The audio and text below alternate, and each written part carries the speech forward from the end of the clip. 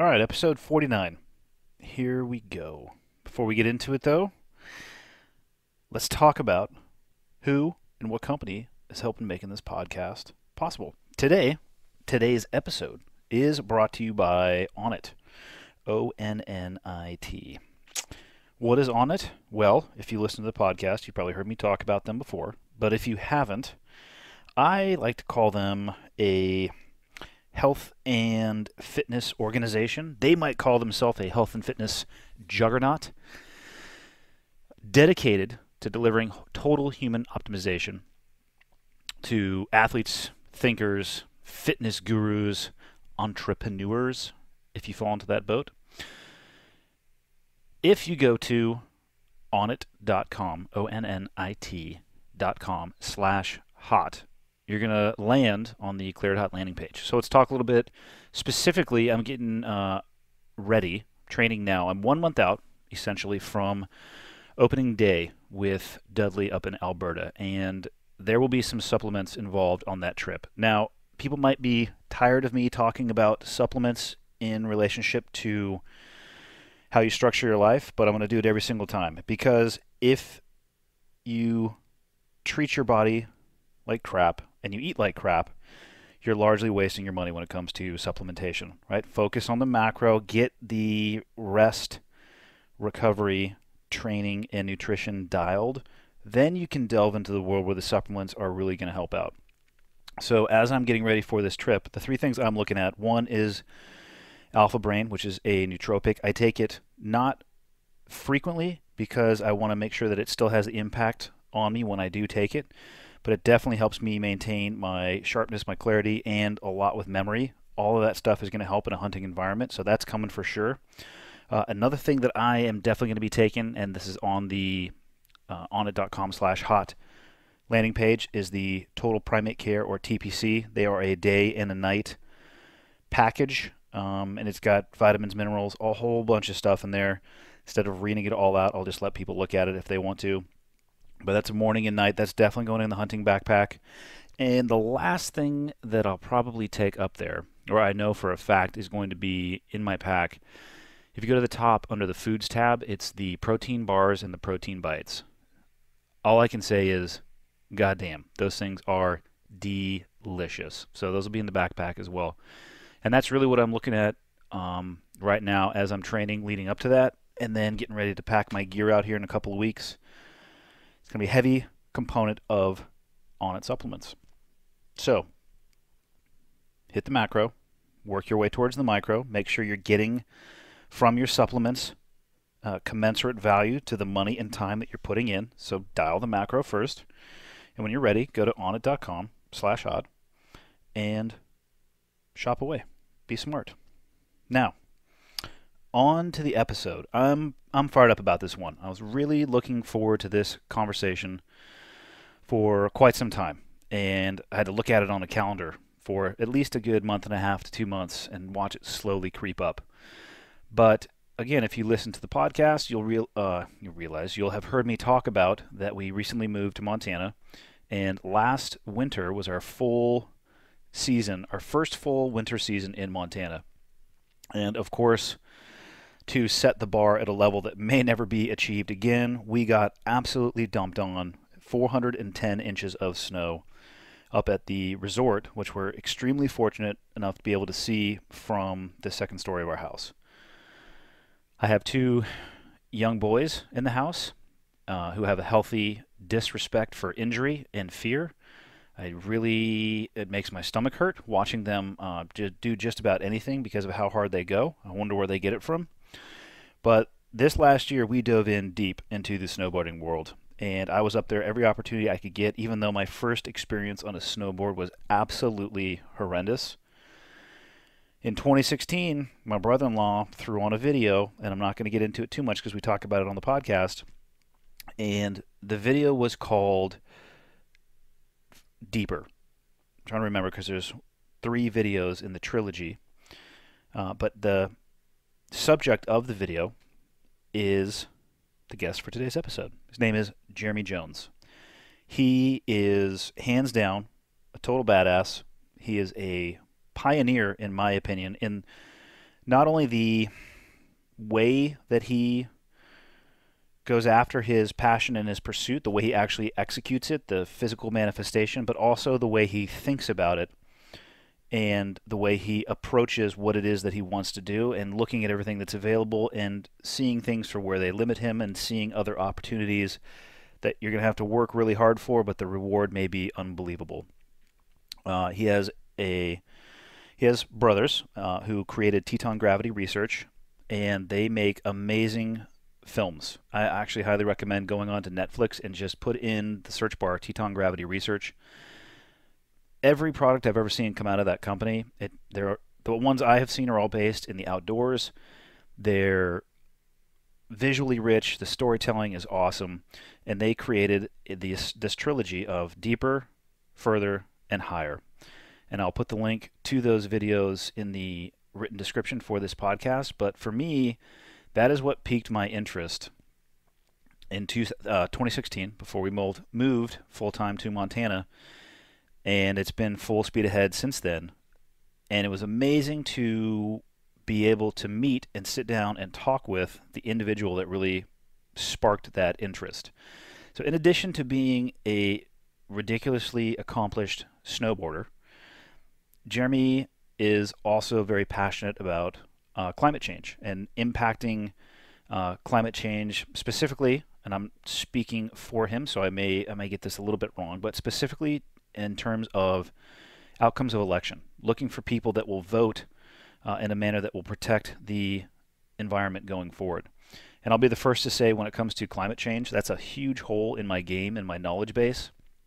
As on many topics that I hear people bring up, as soon as people start screaming and yelling at each other, I I essentially tune it out, which is not the right answer because I'm missing a lot, but I'm so tired of hearing people scream at full volume and not listen whatsoever uh, that I know I've selectively missed out on a lot of this conversation and it was his uh, discussion, or I watched a video of him on YouTube discussing climate change, and then a post he made on his Instagram page that really got me interested in reaching out because the snowboarding was awesome, but then seeing somebody who was passionate about the outdoors and the impact of climate change on his ability to be passionate about his activities in the outdoors, that's all I needed to see. So reached out, was able to link up we talk about his background and where where he started, where he is at now, and what he's doing. So I'm not going to dig into it.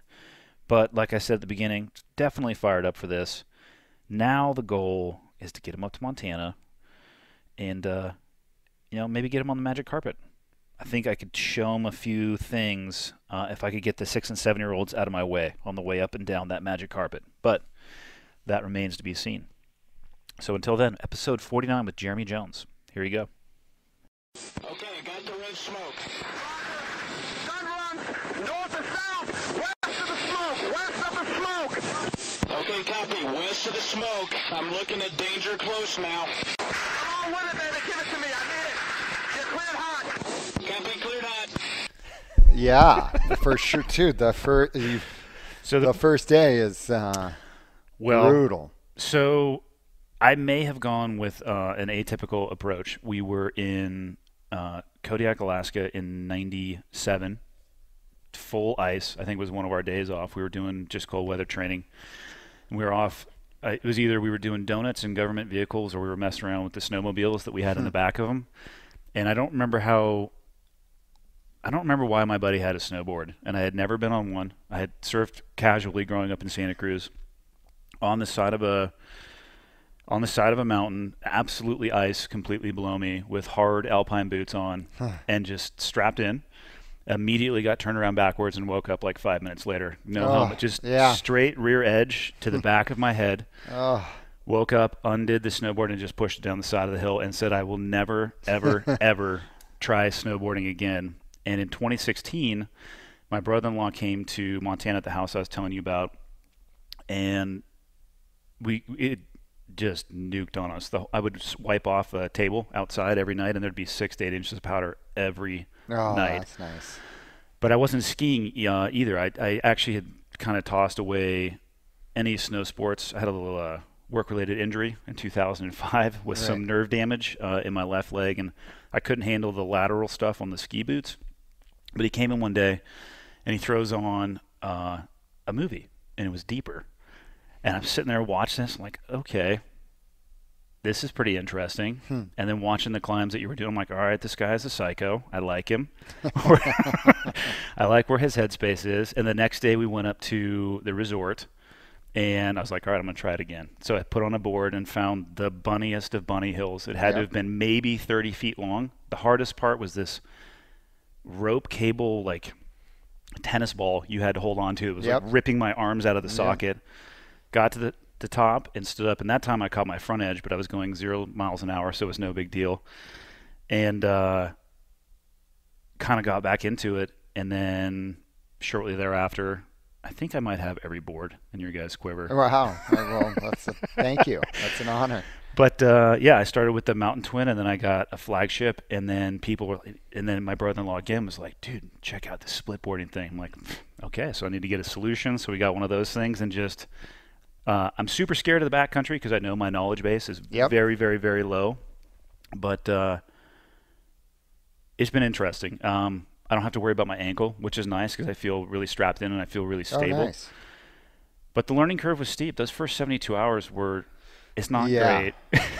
Well, and I, I for sure, and getting through that is brutal. But I, it's funny. Like once you start linking turns, um, you know they call it a J curve, and once you start going up on that J curve, um, it's kind of. I find myself very envious of um, that snowboarder who's kind of like can get down a blue, um, and then from you get into this for years where it's like you get better every run and yeah. to the excitement of that uh, feeling of like new new experiences new feelings um, that kind of easy evolution is um, you know now i'm i work all year to like move the bar one little notch um, where an intermediate's moving that bar every run It might be because you're at the top of the bar. Right. It, it, it gets, uh, but you know, and then it comes down as we were talking. Um, I mean, with my kids and I, it's like kind of uh, cliche, but we're always like the best snowboarder on the mountain or skier is one having the most fun, and it's true. I mean, these sports are there just to like Yeah. experience nature, have fun, and nothing is more sad than seeing like a bitter surfer or snowboarder at this really high level, and you're like, that guy's. Uh, it's just it's the saddest thing, and so we seek out. We'll be we'll run into which by all you know many people would call a gaper or whatever, and ride the lift with them, and we're like, "I- that guy might be the best guy on the mountain today. Look, that guy was so fired up. That guy is crushing it, and it has nothing to do with how he's riding down the mountain. I remember the first time, blue is the lowest, right? Because I started green. Green. So that shows you my experience level of snowboarding. I remember the first time I was able to link like my toe side and heel side. I made it to the bottom without falling. I was beaming for like Yeah. two days. At the age of 39, I was just like, yes! Totally. And so I went home. I forced my kids to watch all the trilogy of movies, and so to put it into context, for me to get that like adrenaline, and, and I'm actually, it's funny, I'm I've learned now to like I've come full circle, or I'm getting more out of simple snowboarding. But there was a point where, for me to feel like that level of excitement, I'd have to be on the edge of life and death, basically, and and that is kind of a dangerous um, deal to like. It, that's a high standard to. Um, to get your kicks and um, I call it walking on a razor blade. yeah Base jumping is kind of the same way. totally um, like we were talking before, uh, the last episode I just did with Mark, we talked a lot about kind of risk and loss and dealing Right. with that and how it. Because for me right now, I'm in a spot where I'm I'm struggling with processing what's going to be next, just based Yep. off of uh, things that have happened recently. But if you walk on a razor blade, you might not even know you're bleeding sometimes, and that's where it gets dangerous. yeah and it's like you think and like some of the snowboarding i've done or base jumping would be a great example of it's like if you need to if that's like mainlining adrenaline um, and if that's kind of like what you need to do to feel alive um, Yeah, and that's not to discredit the joy. I mean, it's fun to mainline adrenaline at that level. It's just it's a dangerous game, and and I've been um, on this this um, quest to get more out of the mundane, and um, I've become a less pickier snowboarder, a less pickier surfer, um, and I love that. I'm like, man, you know, to be able to go and get this like total joy and contentness in mundane waves or snow conditions or terrain is the evolution that I'm super proud of, really. It extends your uh, the timeline of your life too. Yeah. I would say it really helps you enjoy more of those moments, Yes. which is uh, I describe to people just about everything I do. I'm going for the low lowest trajectory over the longest timeline, as opposed to the steepest candle that just burns out. Right. Although it may be bright. Yeah. I've never watched a YouTube video where I said, you know what, that's worth dying for. Right. Ever. Yeah. definitely. So we have to. I'm just infinitely curious too. I want to just go back to when you started boarding because, Yep. like I kind of alluded to, you're at the top of the bar now in what you do. I'm sure that didn't happen overnight. So fill me in, man. How did how did the Yeah. journey begin? So, um, got so basically grew up on Cape Cod, Massachusetts. Um, my parents uh, fell in love with the mountains late, kind of late in life, for you know, kind of in their uh, mid twenties, uh, through my grandfather, who discovered Vermont, and I and I say that from on Cape Cod we have a, what we call the bridge disease, where um, very few people drive off of Cape Cod. Like that. Um, Reminds me of the island of Coronado in California. yeah. So, for example, I have about 90. I come from a huge family um, with about 98 immediate aunts, uncles, first cousins. Um, Oh, damn. That's 12. My mother comes from 12, um, is one of 12. My dad is one of four. They've all had kids. Um, so of those 98, it's basically my brothers um, who started Teton Gravity Research and live in Jackson Hole, and myself and uh, you know one or two others that don't live on Cape Cod or within an hour from Cape Cod. So finding Vermont was like, where is that? Uh, my grandfather, so he found Vermont. Parents visited, they loved it. They dragged us up there. My brothers and I pretty quickly um, fell in love with just the freedom and the beauty and snow and uh, and we were just like we we need to be in the mountains full time. And as soon as we could do that um, we did that. And uh, and just I started out um, went to my first pro snowboard and I, I'm actually feel really lucky because when I started out snowboarding, um, there was no metal edges, there was no uh, high backs on the bindings, super basic snowboards. Was it just a plank of wood, basically? It was a plank of wood. and then if you look at the timeline of snowboarding, it went from like on 80, 1983, we're on a plank of wood.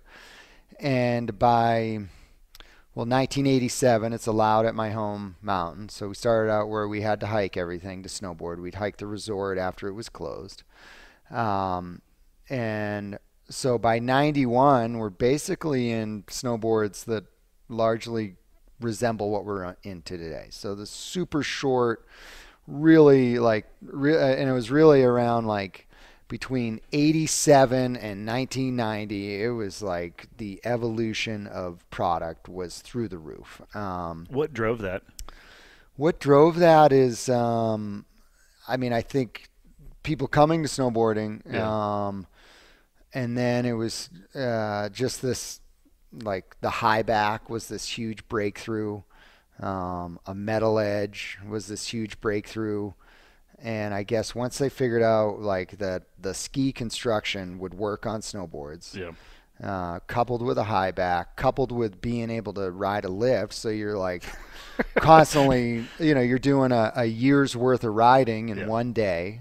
Um, made this really fast, you know, crazy trajectory. And then by 1998, it's in the Olympics. So virtually in 10 years, it went from like not allowed to be in a ski area, um, hard to ride down the mountain, which you experienced, to really, you know, this massive sport with um, in the Olympics, right guard commercials, you know, Yeah. mainstream. So to be a part of that uh, trajectory um, was, I feel, really fortunate. So you started off just recreationally and then dove headfirst. I mean, um, obviously it's a passion of yours, but did Yeah. you find that passion pretty early? I did. It was actually my moment that you explained where you were like, I linked turns and it was the greatest thing ever. Um, it took me forever to learn how to link turns on hard snow. So, and I remember it was evening.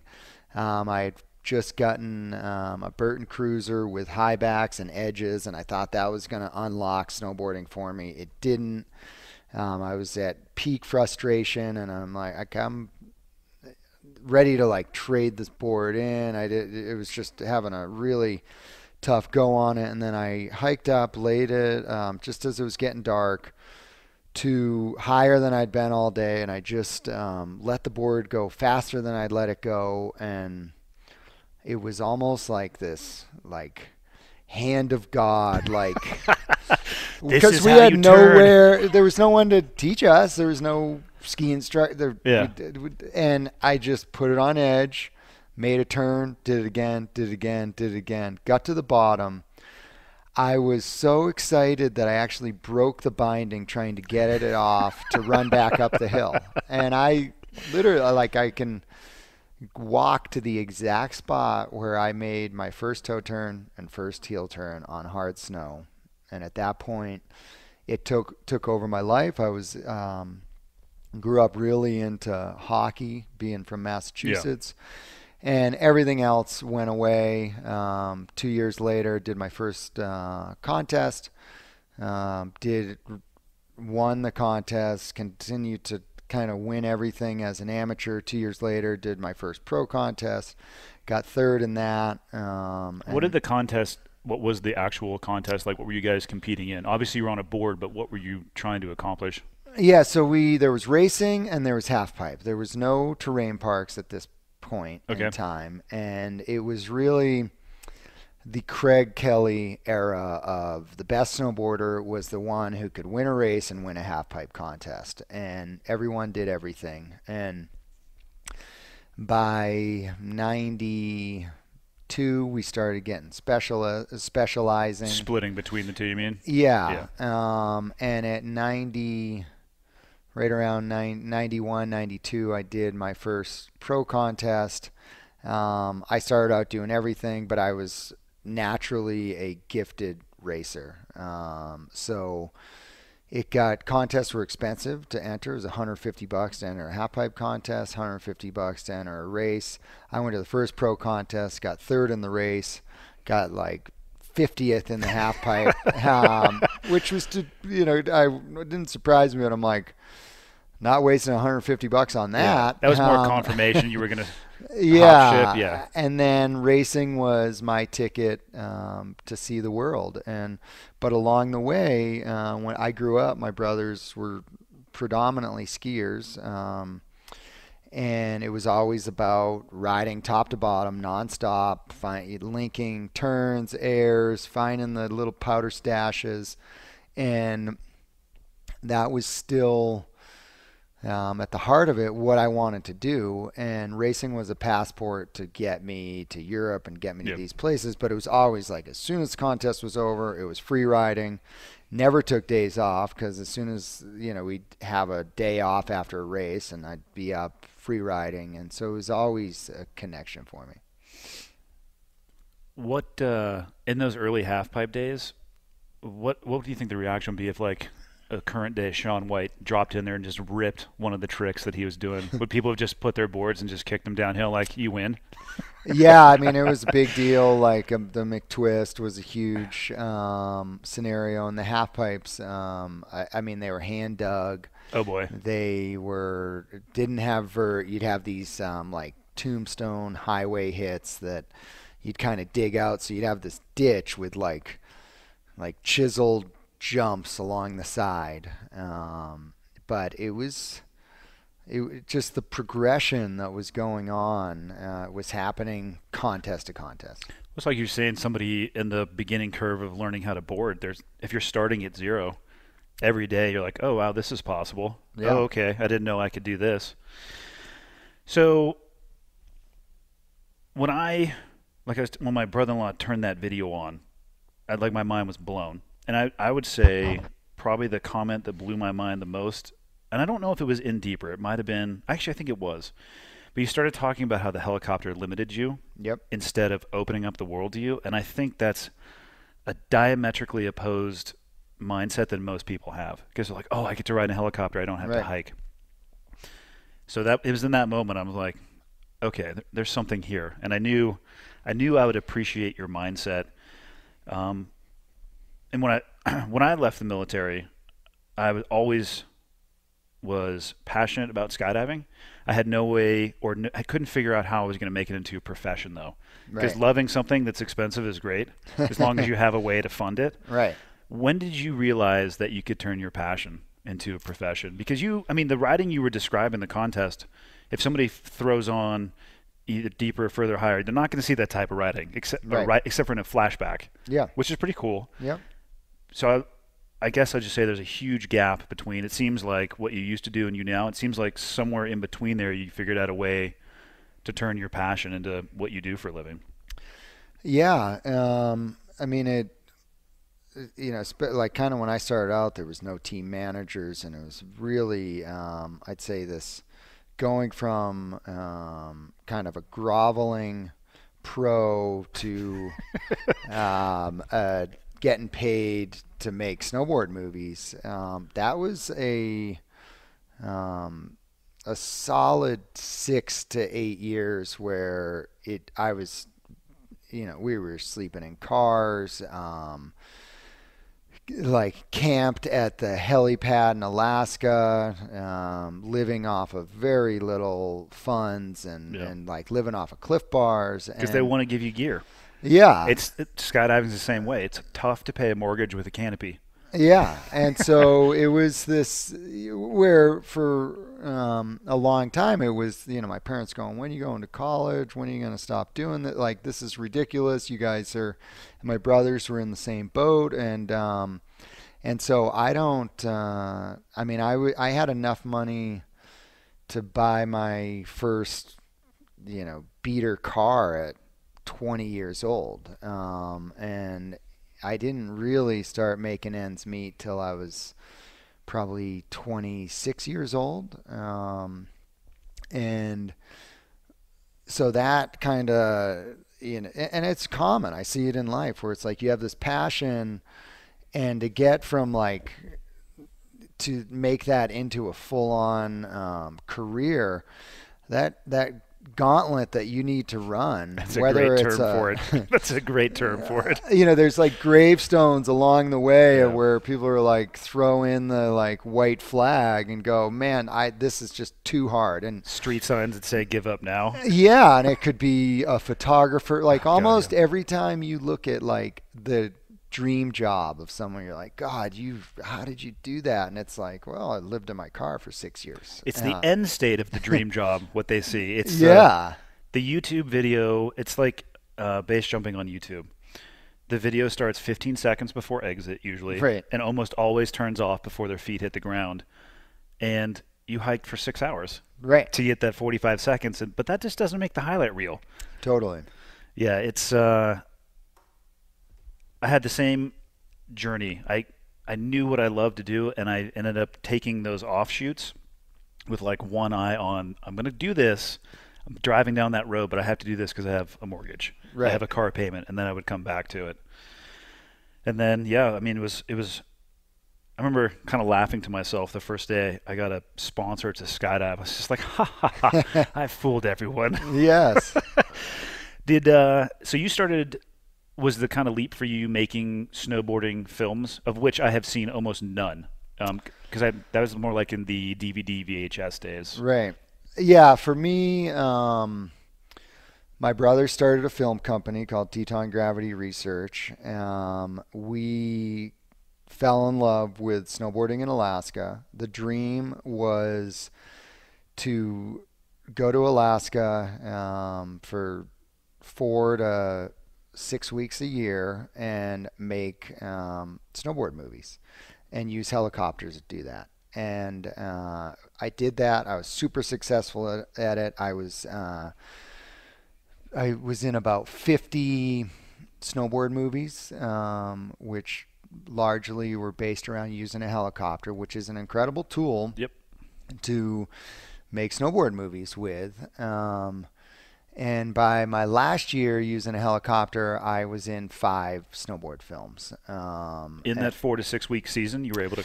yeah, I could go in and shoot a video part, which traditionally uh, a pro rider would uh, spend all year to shoot one part. I could, in three sunny days in Alaska, I could shoot a video part. So I would just like move through these different film companies and and just really. And my I was um, like 30 years. I think 30 years old at the time. My career was cranking. Sponsors were fired up, and I had this um, awesome ecosystem of uh, filmers, photographers, other riders. I had it was just like down to clockwork. I knew, you know, I had a hotel room waiting for me at the key spots, and You had a and, template that was dialed. it was so dialed and but along the way i'm like man that we the progression's not there um the i felt like i was selling the wrong dream of like a dream that only 1% could do Yeah, i mean at that point i was spending probably $30000 a year on helicopters um and we a helicopter. Uh, the reality is, you can only take a helicopter to about five percent of the world's mountains. And I've always enjoyed uh, that feeling of seeing new terrain for the first time, and then figuring out, uh, fi- finding that perfect line in new ter- in these new mountain ranges, and then figuring out how to ride them. And um, and that's when I realized that the helicopter was limiting. Were you able? I mean, it, it sounds to me to be able to film a segment in three days. Are you? Were you looking at the terrain and studying it, and you just had that ability to know what you were going to be able to do? That's how you could just drop in and just rip that session. Yeah, I got um, really good at um, looking at terrain, finding my line, standing on top, knowing exactly where it was, and then also um, understanding avalanche uh, conditions and going in with a helicopter and learning how to assess snow conditions super fast. So we'd go in drop a cornice, um, like start our day first thing. So the hard thing in Alaska, you get it's awesome. You get a bunch of snow, then you get sun, and then snow, and then sun. So how quickly can you go to get to movie terrain after a storm? And I figured out um, amongst with my brothers at, at TGR, we I mean that we were ba- you know we were committed to like how can we get onto this kind of movie terrain as fast as possible. We figured out how to um, we'd find a cornice to drop, which is largely what they would do at a ski area where they um, you know put a um, bomb on a slope to test it, and if it slides, you figure out it's dangerous. That and then this huge breakthrough was I figured out that the really fluted spines um, are actually really safe, and we could get on those really fast without by skipping a ton of steps. Um, because those really steep faces, they're constantly shedding, and you don't have like the most dangerous avalanche terrain is a 38 degree open bowl. Really?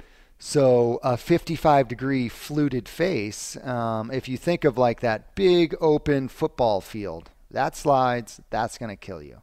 You look at these fluted faces, um, they're all broken up, and there's not much to. They just can't hold a lot It just can't hold that football field of snow.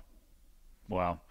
When you say that you can only get to 5% of the mountains via heli, is that a limitation of the helicopter, or is that because these zones, you can only take the helicopter into certain zones?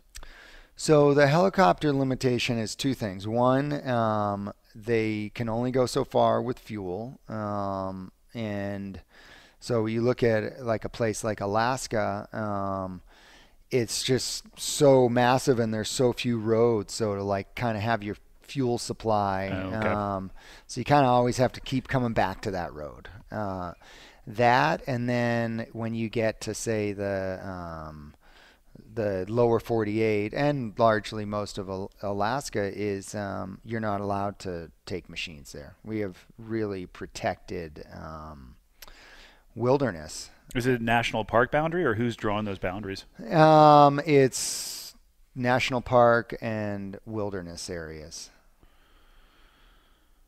I can see that as a good or bad, depending Yeah, on whether or not you want to make a movie on it. Well, and you can, you know, that's a, um, and I used to, my view on that has changed. Yeah. Um, when I was snowmobiling um, to make these movies and using helicopters, I would look at big protected chunks of terrain and be like, God, what a shame we can't take a helicopter in there. So, what was the tipping point where you're like, you know what, we're gonna go on foot? So it was uh, multiple different things because it was the like one I felt like I was selling the wrong dream because who's got that kind of money to go snowboarding? So I was distancing myself from those people I was standing next to in lift line. Um, two was I started just had this um, I've and and the thing is I was always I would hike all year, save all my travel budget just for Alaska, and I really enjoyed that um, that experience of hiking. It's it it is always um, been with me. Um, another factor I hated uh, that as I was seeing these mountains change and realizing that my footprint and and the resources and um, you know what the it got harder to justify burning that much gas to go snowboarding. When you say change, you're just talking about what they would look like year after year. The snow. Yeah, I was starting to really, um, you know, see climate change um, Yeah. take effect on these areas that I was snowboarding, and and my snowboarding was um, was at was part of that problem. Um, and then I really got I started having this craving to not want to go back to my hotel room at the end of the night. and it was a um, and it was a really big turning point for me and it was terrifying. It was actually in it it's funny the things that have kept me up more at night um, is not this like serious mountain I'm going to snowboard, but these changes or decisions I've made in life. Um, so the anxiety of like it was very funny when I and I told my sponsors I was very honest. I'm like, hey, I'm making these big changes. At that point, I was 30, snowboarding. 30 years old is technically kind of the you know that's the equivalent of like 80 years old in pro snowboard years. Your Like, master's category. well, you're masters, and you're kind of like, this is probably my last contract. Um, and I'm like, I'm going to do this on my own way. Um, I have this path I want to go on. All that that ecosystem of filmers and photographers and riders, none of them came along with me on that. Um, I lost some sponsors on it, uh, which I was totally comfortable with, and I figured there'd be this small group of people that liked these films, um, but I largely figured I would um, was kind of out of my on the way out of being in the spotlight, being in magazines and stuff. So the equivalent of with a helicopter, we'd film eight lines a day. On foot, we were lucky to put three film lines down in a month of being out there. Yeah, and I, I don't know if people listening to this will have an appreciation for it unless they go watch some of your films. You're when you say hiking or on foot, Right. um, just go. Yeah, I'll put a link to all of them. You need to go watch to get an understanding because there's some hiking and on some on foot stuff that'll make you sweat watching it. And the distances, it's not like you're talking 100 yards. You're talking miles. Yeah, and it's it's funny because um, you know along the lines when I had started Protect Our Winners um, a couple of years prior to this, um, which is this foundation focused on slowing down climate change. Um, but my friend, you know, my friends and these people I've been working with, you know, kind of under their breath are like, "Wow, man, this he's taking this environmental stuff really far." And they jokingly be like, "How's that hippie snowboard film coming?" and what they didn't realize is we're like 75 miles from the closest road, camped out underneath the the biggest um, mountains and lines that I had ever tried to snowboard, and I was my goal was going if if I can figure out this foot powered stuff um, and how to hike these things, I now have 95% more terrain to choose from, which means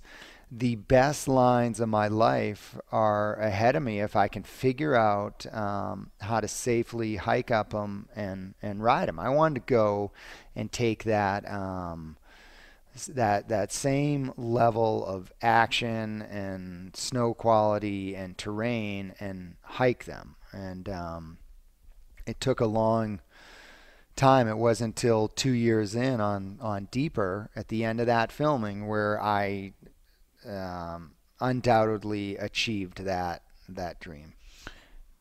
Yeah. Again, amazing film. Um, when you were so, what year was your first foot powered? God, so it's probably say call it ten years ago. It, um, so around 2008, I would guess. Um, And when did Jones snowboards enter into the equation? Because you obviously you were yeah, so using other people's stuff um, during. Yeah. So what happened is I found I like I started splitboarding a ton. Yeah. Um, and that's How were the first split boards? So splitboarding had been around um, for you know, kind of it's arguable when you know for a while, at least since you know '87, maybe before that. Oh, really? I thought it was more. Um, I had more recent. Yeah, maybe it was 90. I don't know the exact um, time, but at that time they were really heavy. The binding interface, and, and for your audience, basically, what a splitboard is is it's a snowboard that's cut down the middle, and um, it can it turns into skis, and you climb a mountain, seemingly, uh, you know, on on wide cross country skis. Yep. You get to the top, it turns back into a snowboard. You snowboard back down. It's a transformer. Yes. Um, and early on, it took a long time for it to go from uphill mode to downhill mode. It was heavy. The bindings had a lot of slop in them, um, but they worked. And um, kind of, they were starting uh, actually in Montana. This Really? um, company, Smart, Spark R&D, came out with a new splitboard binding that made it i don't you know call it 10% better but a key step um, of it was the first innovation that had splitboards had largely stayed exactly the same since they first came out spark came out with this um, enhancement to the interface that Yeah. just made it feel that much more like a real snowboard um, but we were cutting our snowboards down the middle I was going to ask you. I'd heard stories of people saying, "Yeah, basically we would just jig the thing right down the middle." Yeah, so we, and then in doing so, they'd get a lot softer. um, and so we had, I, and it became where that was predominantly, um, it was about 80% of my snowboarding at that time. And I'm on these boards cut in half. And my sponsor's like, we will never make a split board. There's not enough market for it.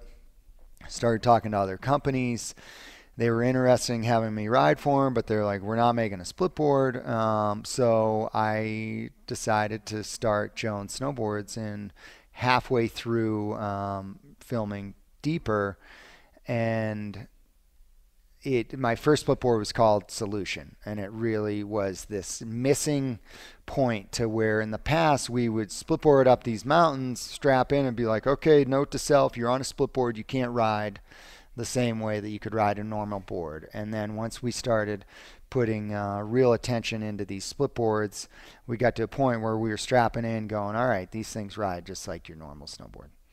yeah, one of my favorite things to do is split up the hill first thing in the morning before Yeah. the lift is open. Potentially deviate from the course that they say to come down on because there's just a more awesome Yep. course to the left. Board goes in the back of the car, grab the flagship, go hit the resort for the day, and then just pray to God I don't fall asleep on the way home. Just completely worked at the end Yeah. of the day. It, I have super limited experience, but I have found that solution. I can't tell the difference, other than the bindings feel different Right. because of the resort bindings I have and the what are they? I think I'm pretty sure I just went to your website and got exactly what we got. Karakoram is that how you say it? Karakoram, yes. Yes. Those are the ones I have. Those things are awesome. Yeah, so that another interface. So that kind of like sparked. Um, Did one? Did, So the Spark R and D did that kind of fire off a lot of other because it got people thinking, right? It just got people going. Yeah. Oh, wait a minute, we can like put a little bit of energy into this, and and we see results. And and now, fast forward to today, there's multiple different interface bindings. Karakoram being one of them, who I work with. Um, there's a smaller company, Phantom, making cool stuff, um, and then now it's every major snowboard company makes a split board, uh, which is great. I mean, we, you know, first and foremost, um, I'm a snowboarder that wants the best snowboard possible. So I love the fact that there's multiple different binding companies, snowboard companies. They're competitors of mine, uh, but they, you know, they collectively we are raising the bar and then making for a better user experience. Which at the heart of it, that's that's what I'm. Into. yeah, that's what you're there for. How has it been uh, owning your own board company? What you thought it would be? You know, owning the um, snowboard company is. It's funny. The two things I never wanted to do was make my own films I know where this is going. and start my own snowboard company. And in the course of 10 months, I made the decision to do both. Um, and the snowboards have been, it's been a real, uh, it's been a ton of fun, quite frankly. I mean, yeah, it's a lot of work, but to, as a snowboarder, to have um, total freedom to develop what I want and um, the best people in the world to help me develop what I want, uh, and then have the the customer um, support that, and then allow me to keep developing more stuff. Um, it, it's been this great honor, uh, and nothing. The ultimate compliment for me is when I see a Jones snowboard in a lift line or at a trailhead. I bet. Yeah, I see them all over up in uh, in Big Mountain. Yeah. Usually on little kids that are passing me, so I try to catch up and push them over in the line, which is actually what I do with my own kids because I, you know, you're talking about the learning curve. I don't understand how they pick it up so fast. I think it was a morning, maybe a morning, Yeah. and they're just, and I just yell, "Slow down! Don't go in the trees or go together!" Like, Yeah, it's um. I mean, it, it's funny. You said like I was skateboarding today with my kids, and uh, I was watching my son, and I'm like, all right, I, I got like two weeks before he passes me up. Uh, You have to cheat is the dad technique that I've figured out the, is the only way to keep him in check.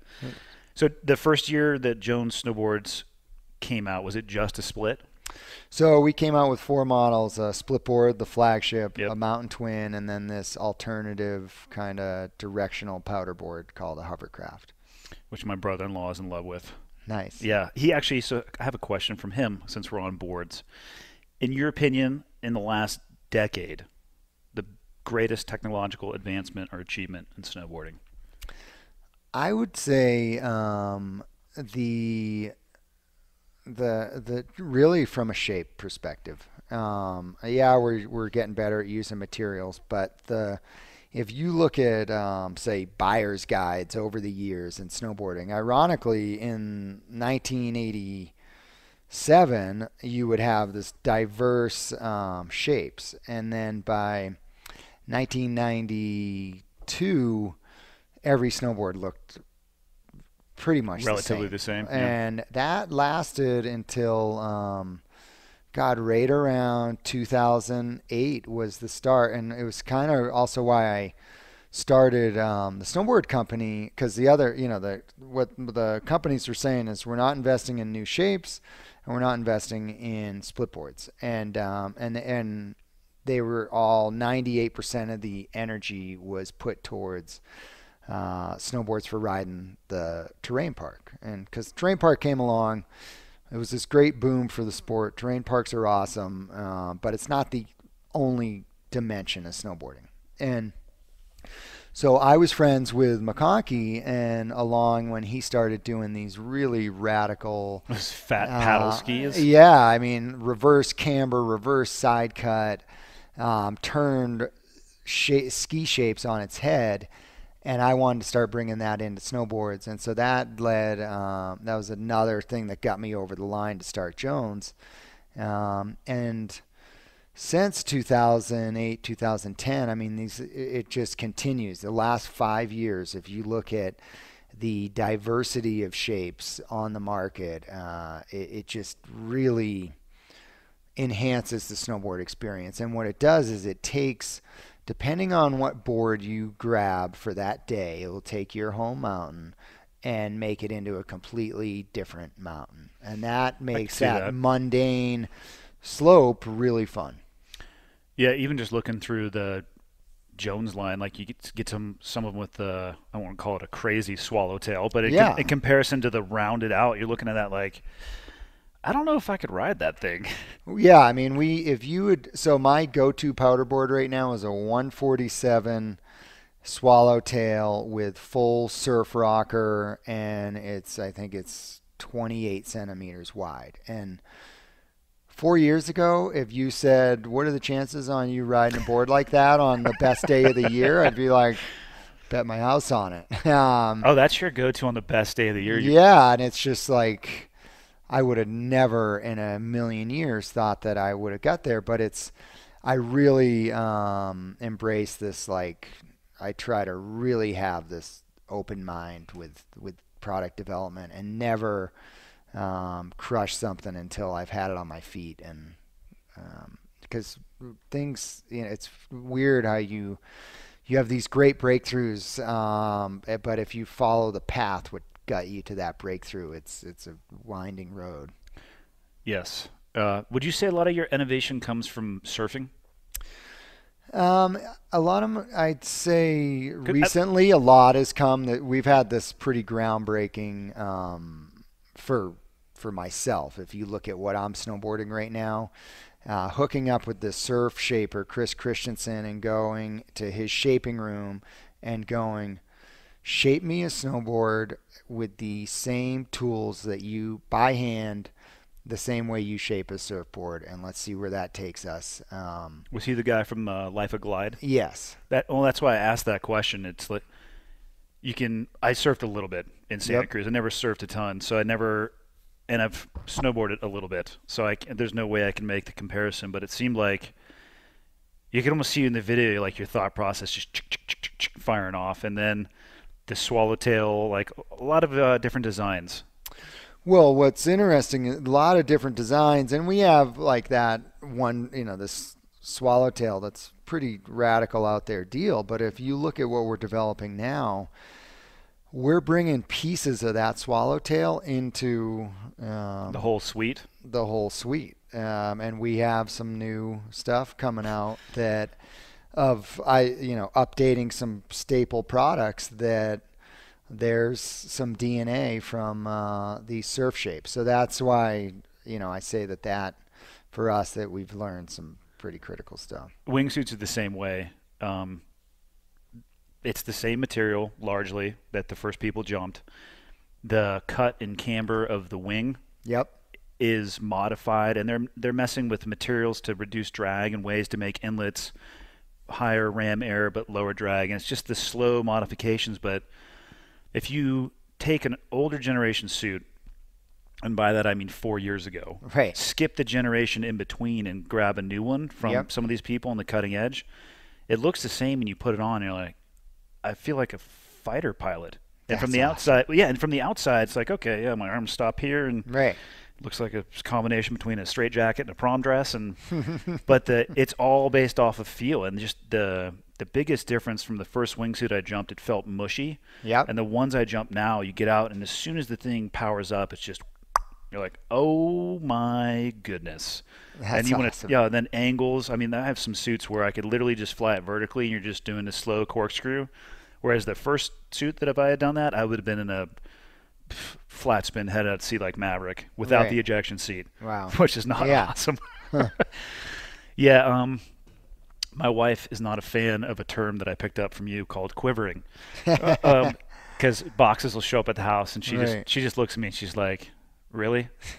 I'm like, "Well, come on, I you know I need, Right. you got to have everything for every condition." But it's I love I have always been um, a gear nut. Like I would, we would get issued gear. I would go immediately take it apart and move a pocket a quarter of an inch Right. because I want one. I wanted to understand it. Um, I'd imagine you're the same way, and, and so there's probably no. Is there an upper limit on the evolution of snowboards, or I mean, do you think it, in ten years are you still going to be? I mean, the, Yeah, I think that we, you know, so because we also are doing, um, we're on a really deep dive right now on some material stuff um, that's been going on for a couple of years, and uh, so I think we'll continue. Um, we have what we call the ode to progression. Is um, ode to progression. Yes, and it's um, you know it's something like you know all things can be made better either through material or design. Stagnation is not an option.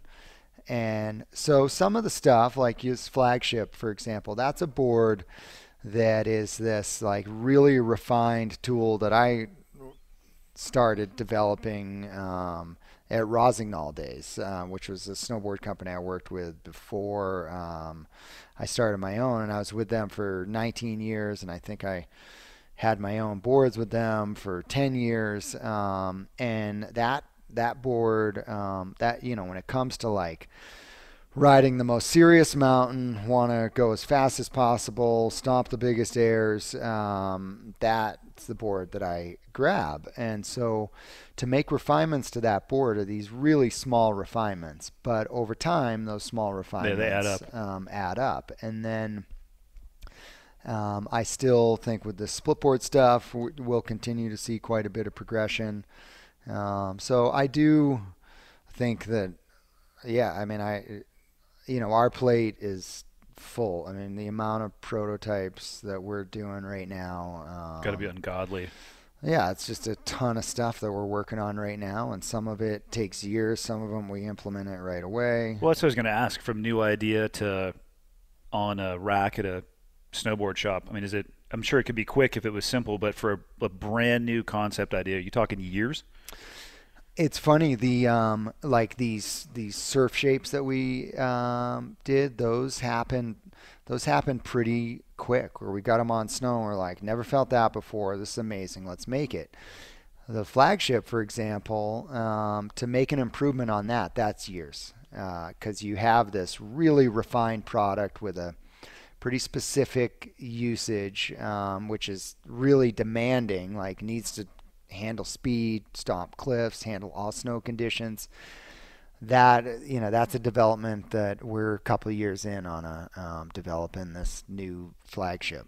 You get to ride them all too, don't you? I do get to. I am. Uh, it- it's that's where I say the snowboard stuff. Like, yeah, it's a lot of work, but God, Yeah. it's a dream come true. It's the passion into a profession. It's. I I wish more people could find a way to do that at the level that you have done it. There's a rewarding sense of accomplishment.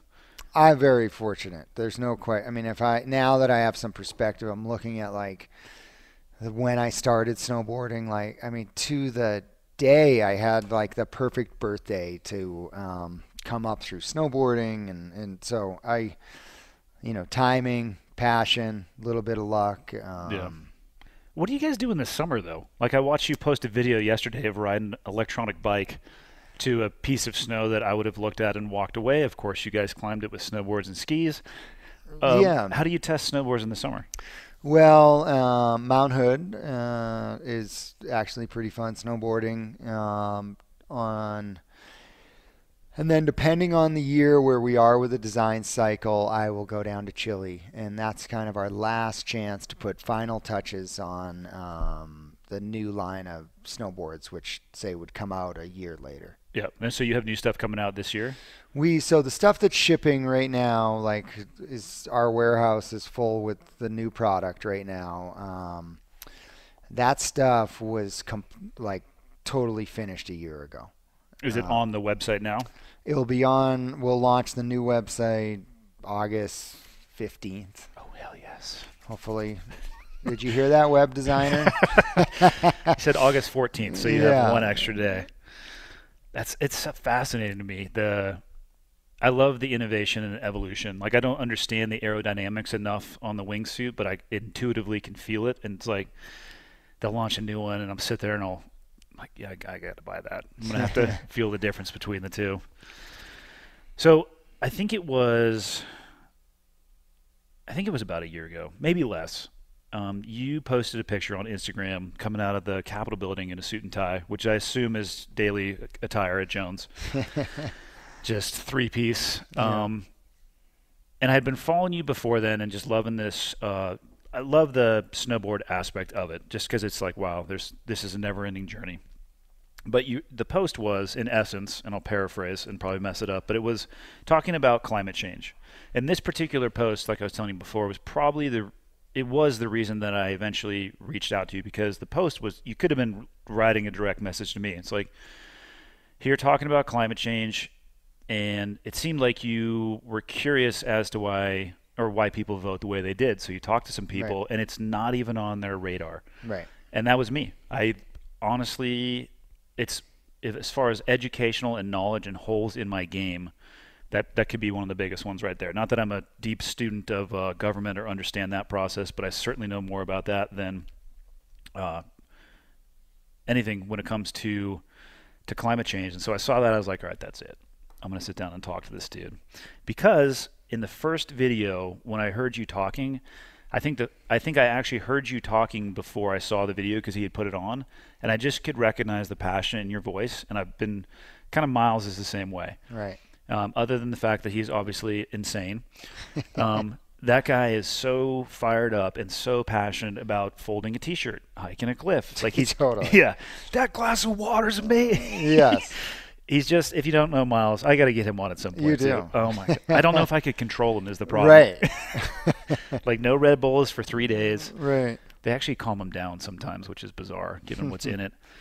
But I love the passion, and then I started digging into it. Um, but POW, protect our winters. So, and you alluded to it a little bit. You started noticing the change in the environment. Where did the where did the seed for POW start, and then when did you fire that sucker off? So, um, so yeah, protect our winters. Basically, in about 2005, I had the idea, um, and I had the idea because just to back up, um, you know, the the type of snowboarding that I do is requires me to have a very um, it's almost like we go into the mountains it's this intimate conversation with the mountains you figure out are they opening their arms are they saying get out of here what you know what is You're so when- describing base jumping too. Sitting Yeah. on the edge, and you sit there, and you got to listen to the wind, and you look at the terrain, and look at the conditions, and is am I lining myself up for success or failure? Because the way I describe it is, the jump is optional. right Performance afterwards is mandatory. right And I would imagine it's the same thing standing on the edge of uh, getting ready to go down a line. If, if you go, unless you want to unclip and hike back up, you better your performance on the downside of that is mandatory.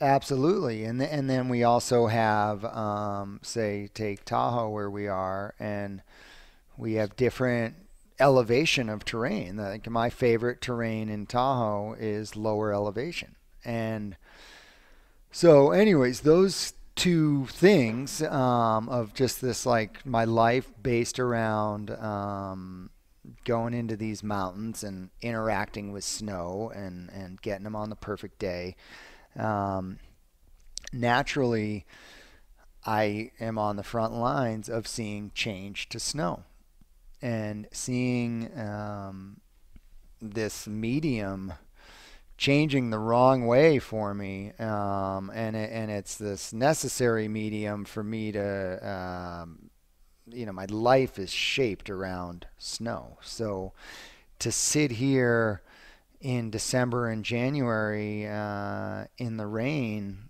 um, more than you know, it, it, which is the new normal now. Um, that's heartbreaking, and then that's coupled with. So naturally, I start talking to scientists about it. I start reading about it, and I'm like, wow, this the climate is changing, and we uh, humans are um, the large cause of that. And so here I am. Um, at that point, I had had my name on a bunch of different products, and I'm like, hey, let's um, let's come together as an industry and do it. You know, uh, you know, I wanted to raise money to slow down climate change. So Mm-hmm. talked to my buddy in the environmental field. And I'm like, hey, I want to start taking a percentage of my royalties off my pro models, send it to um, a group on that's really focused on climate change. Where do I send the check? He comes back a week later and he's like, you need to start an organization. There's, you know, I can tell you where to send some checks, but like you guys as a group are not doing anything. You should be a leader on this Wow. subject. And I hated that answer, um, and I sat with it for a year. But I knew he was right. Uh, I tried to talk myself out of it, um, and then the tipping point, I guess, for me was, eh, eh, you know, the main thing why I tried to talk myself out of it. One, I barely graduated high school. Two, at that point, I had an enormous carbon footprint. Um, and I just re- I'm like, who am I to like take on this stuff? And but the tipping point for me was I was in northern British Columbia and um, I it was mid went it was February and I was with some locals who were early 30s and we were hiking their home ski resort and it was grass and they were walking and they're showing me their warming hut and the different um, where they learned how to do their tricks and da da da da and I was like, well, you know, why is the mountain closed? And um, they're like, we just don't get snow here anymore. And it wouldn't have had the impact if they were 70 years old. But I thought, I'm like, wow, these guys are 30 and they've lost their mountain. Um, and this was coinciding with I was spending a lot of time in Europe and amongst the glaciers in Chamonix. They've been around them, and people going like, "Wow, we are, these glaciers are moving fast." Going to Alaska, um, watching these glaciers change really fast, which glaciers do change. They're not supposed to change that fast. Coupled with losing the low elevation spots here. Um, and I have this thought, I'm like, well, wow, man, if that happened to them, like, thank God that's not happening in my hometown. Um, I'm good, but that's a bummer for you guys. and All right, so uh, get the plane ticket to somewhere else next year. yeah, so I, um, so anyways, I'm like, you got to do it. And um, the haters are going to hate. And I just, and from the start, my motto was together we can protect our winters. And I really, um, like when we would run ads and stuff, I would have it of other athletes. When I went out for companies to be a part of it, um, I really looked for companies that I didn't work with. I, I did not want it to be a Jeremy Jones Foundation. Um, and then I seeked out the best uh, people on climate, the best scientists. And I had this motto of like, it never, you know, don't be afraid to ask. And I started asking the best people, and they were like, this is awesome. I'm in. And it, um, and then also, put it out there. I need help. Who knows how to do a website? And I'm like, either people rally around it, and I ha- and we have something, and if they don't, it's not going to go anywhere. And sure enough, we had lawyer, you know, a lawyer come in, help with getting our application, a website designer, so on and so forth, and we just celebrated our 10th year. Is that with the big day for POW? You were saying it's a big day for POW Um, today. So this is open up a different can of worms, but we today we just uh, launched the uh, Protect Our Winters uh, Action Fund, which we so traditional nonprofit is a 501c, and we are now a um, we still have that, but we have this new arm of Protect Our Winters, which is a C4, and what that allows us to do is really take the gloves off and um, roll up our sleeves on specific um, political uh, races and back Do you need to borrow any body armor?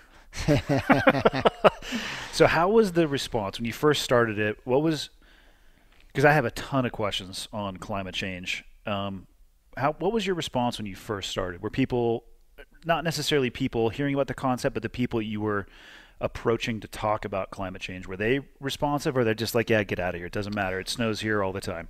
Um, no, in general, I mean, it's like you can't find a um, someone that is a professional skier or mountain guide that isn't like, yeah, I'm seeing changes. Um, How about people who live in cities? Well, cities, but again, you know, if you look at the numbers, um, and the like, I, I don't need to, you know, if if we can activate the existing um, community, we have all the numbers we need. So it's why I don't spend time on the far right um, on climate. Like we feel like, and, and, the numbers show, like uh, you know, we're fighting to move the needle two percent mm-hmm. um, in key areas, um, and so our goal is to get people off the sidelines. Uh, it's it's not an effective use of resources to try and go in and tell this staunch climate denier, um, you know, if if every science, if every college in the world, every scientist in the world uh, can't get them on board with climate, uh, that the climate's changing and humans are changing it, I don't have the magic words. I'm not putting energy towards that. Some people still think the world is flat, and it's 2018. Yeah, the flat earthers. Um, I'm just saying, there's that always going to be that group of people that it's like, hey man, here's every piece of data, here's every piece of math, and they go, no, I don't believe you. Right. Move on to the next. Uh, yes. so, trying to move at two percent. What would a two percent shift? Or I, I guess I should go backwards. Well, yeah. So first of all, when I started it, it was actually way less polarizing than it is now. So by and large, like, yeah, that's cool, man. It's, you know, love it. Um, and we were talking about changing light bulbs and reusable water bottles and um, and reducing your personal carbon footprint, which we still talk about, still super important. But pretty quickly, we as we surround ourselves with these experts, it became clear that to make um, large um, CO2 reduction, we need to do it on a um, you know our whole infrastructure needs to change. And we have to do it on a national and an international level. And then so that ends up getting you into politics. And when we started out into pol the first trip we went to politics you had mccain running for office talking about climate change, a Republican. Mm-hmm. Um, there was a bill for a carbon tax that had passed the House, um, and there get we went there to try and get it, um, you know, to specifically target um, Republican senators on it, and it was a it was a very um, it, it was not a toxic, polarizing conversation at that time. Um, that greatly uh, has changed, and now it's this like, you know, has we know where it's gone now with. What do you think changed that? Um, it's pretty clear. A couple things. Citizen United, which is this, um, which allows uh, big corporate companies to donate unlimited funds to campaigns. Um, but they wouldn't want anything in return, though. That's just charity. totally. um, the fossil fuel industry, who has been following it, right? You know, you can follow them and and um, really closely, and as the science be, you know, in, in this way, they saw that um, it was like a Markey Waxman bill. I forget what it was that was in um, had passed the House, but that was kind of a shot across their bow. And then they really ramped up their um, climate denial um, tactics, and they're very good at it. Do they deny that the climate is changing, or is there denial that humans are what is changing the climate? So um, they're really what they do, and it's actually um, it's the same people um, and it's the same playbook that the tobacco industry used, which they realized that their job um, wasn't to prove that cigarettes didn't cause cancer. Their job was to prove that cigarettes might not have caused cancer. and that um, that might. And so what the the the fossil fuel industry is they recognize that if we just have this, um, bring this might that humans may not have anything to do with it, that slows things. Uh, uh, that slows things enough where they can keep business as usual cranking away, which is burning mass amounts of fossil fuels. Um, your answer might be anecdotal, but from what you've seen, as far as the science, like people who obviously study this stuff, Right. what's the percentage of people that are behind your stance versus the Citizen United uh, lobbying campaign? Is it? I mean, I, would imagine that, and, and this is a guess. I would imagine that more of the science is on the trajectory or your path than it is on the defense or trying to create that wedge or opening the door for maybe, maybe not. Yeah, I mean it's um, you you can't find a peer-reviewed science paper on that humans aren't causing climate change. You can't find a um, climate denier paper that's not uh, linked back to the fossil fuel industry. You can't to put it into perspective. 98% of scientists, um, you know, are on board with humans are causing the climate to warm. Um, you know, it's like 97% are on board that the earth is not flat. I mean, or that cigarettes don't cause cancer. I mean, Yeah. it is you're talking about it's there is not a single university in the world that is not doesn't teach this stuff. There's I mean, so it's it's there is no debate. It, it is um, So what do you what's your response or what's your uh, what do you encounter when you go and talk to politicians about this stuff? Who some may take money from those and some may not. I'd imagine your response is probably different depending on who they take funds from. But I, I would just imagine that I have limited exposure and experience with politicians in and of themselves by choice. Yep. I, I would find it to probably be an extremely frustrating experience. I'm curious as to what yours has been.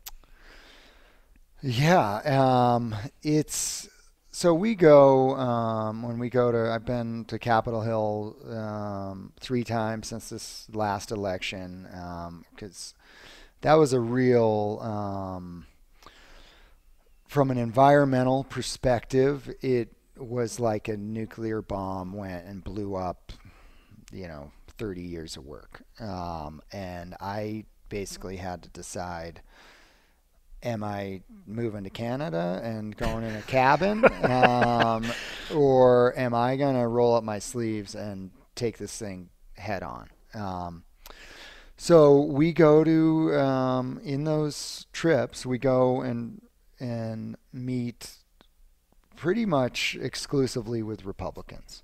And we try and find um, Republicans in mountain areas that we think that we can um, try and move them on climate. And uh, How many of them have you found to really be educated on the topic beyond a, a talking point?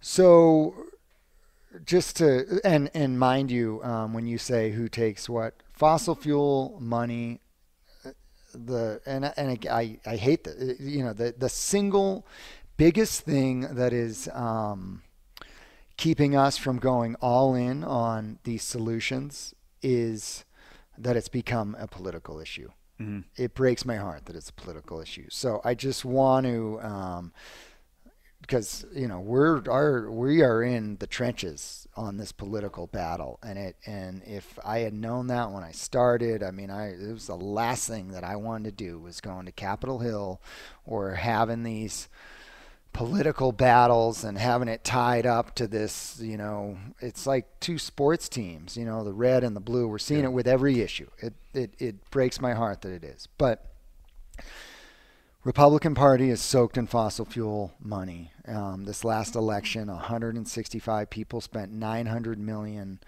keeping us on fossil fuels. Wow. And not only do they spend, they're very effective. I ha, you know, I have to like really. They make that 900 million go really far because they terrify, um, eh, you know, the Republican Party. If they come out on climate change, they know come to their primary, they're going to have another Republican that is going to blow the doors off that guy. Um, so yeah, that I forget what your question was. Well, you said the Republican Party is Oh, the science. Sorry. The The sci- science. So here's what we're up. My congressman who was up for re-election. I we go in there and very um, there's no tension in the room. We you know try and Yeah. find common ground. Da da da da. You know we know what we're up against. We're not. Uh, but so my congressman is zero for 187 on environmental votes. Strong. At least he's trending. Yeah, well, he's consistent, which I, he is not a flip flopper. At least he's not like 90, 91. My God. Uh, yeah, it's. I mean, I'm like, you, You know what you're getting. You know what you're getting, and he's. Um, but so we go in and um, and I we ask him about. Um, you know, I'd love to hear more about your science. You're here in Capitol Hill. You're access to the best scientists in the world. Like, please, you know, tell me why I, sh- you know, should not. Like, we'll close down, protect our winters. Climate change isn't happening, and you know, the first meeting I went in there, his um, head aide cited um, kindergarten when he learned about fossil fuels. The second time I went in and met with him directly, he, I'm pretty sure he was quoting um, the Bible, saying, you know, on the seventh day, the earth flooded and Noah built his ark, which, you know, not, uh, you know, so that's kind of the Yeah. the stuff that we're up against. I'm going to describe that as an uphill battle. wow. So, how many people do you have uh, in trenches with you? Because there's no way you're doing this by yourself. Specifically at Protect Our Winters? Sure. Yeah. Yeah. or even branched out. I mean, how far have you been able to grow it? In as long as you've had it? Well, um, for example, since this last election, we were three. Now we're 11. Uh, we basically have taken, because the thing is, um, we are, there is urgency. These next two elections are critical. So at Protect Our Winters, we've just put every ounce of reserves, anything that we have, into um, everything we have. To, You- so you're talking when you say the next two, you're talking the midterm, then the next presidential. Yes. Um, if we don't, uh, yeah, it's just it's it's an all hands on deck moment, or is what we would say in the mountains. It's a no fall zone. Um, Same term in uh, base jumping too. Yeah. Hey, you see to your left? That's 3,000 feet. Don't fall. Hold Right. on to the rope if you want to. so um, so we have that, and then collectively, I guess the the thing that has gotten us, um, say, an audience, um, not at this current White House, but in the last White House, um, we, you know, they really recognize the work we were doing because when we get everyone and Protect Our Winters behind it, um, we reach about 12 million people on social media. Um, so that's a big number on a in a um, say an avenue that's hard to you know tr- for politicians traditional um, environmental groups to have an impact on When you say it's like an all hands on deck, if unchecked, what does the science say we're headed towards? well best case scenario we're headed towards um, you know it, i mean you could best best best like in a dream deal and there's an outside chance would be 1.5 celsius uh, but really best case is uh, two degrees celsius warming that we're that are in Per the books year? no in the next 50 years We'll- Okay. pla- so that's um, six degrees fahrenheit Okay. you know, significant unchecked, um, and that's rate where scientists feel that we can adapt and um, evolve and and and learn. You know, that's still gonna. You know, Trump's golf course is going to be underwater. Uh, you know, there's still major disruption Yeah. of um, people. There's um, areas where you know millions of people are going to be moved. Um, we could make an attempt to pace it though. Is that- yeah, and we can make the um, make you know we can handle that. Um, unchecked, we just stay on business as usual right now. I mean, there's years now you're talking about how long will human beings be on Earth? Is it a hundred and hundred years? Is it two hundred years? And there's debate on that. I mean, it's it'll be the end of you know because if you start getting to four degree you know all these um, triggers start going and then you have this runaway climate change that there's really no end in the warming and I don't know what that. It's something you know like a four or a six degree Celsius increase that we shut down as a human race. That's enough to keep you up at night. yeah. um, as one climate scientist said, to go into military terms, um, and uh, by the way, the Pentagon through all this is totally on board on. No kidding. Hundred percent. I mean, How did you guys end up interfacing with them? I would have never thought that that would have been a touch point. so after the election, um, I kind of I wrote this um, this email um, kind of note to to like the main people at Protect Our Winters, which is basically kind of like a brain dump. I love to write and. Um, and in it, um, I'm like, we need to get the Republicans on board. Um, we got to find one, and then we'll find two, and da da da da. But it ended up being published by TGR, um, and I got a note um, that day from a Republican in the Pentagon going, you know, we are, um, there's more Republicans than you think that want action on climate. Um, and then the Pentagon continues to release public reports on climate change. Is a, there was a big report on um, Guam, Hmm. Um, where the Pentagon is going. We may, you know, this base is in jeopardy. We're in jeopardy of losing this this key strategic base Yeah, I've been to that base. in the It's- next 50 yeah. years. Um, the drinking water is a big problem. As the sea level's rising, as salt water's going into their um, drinking water.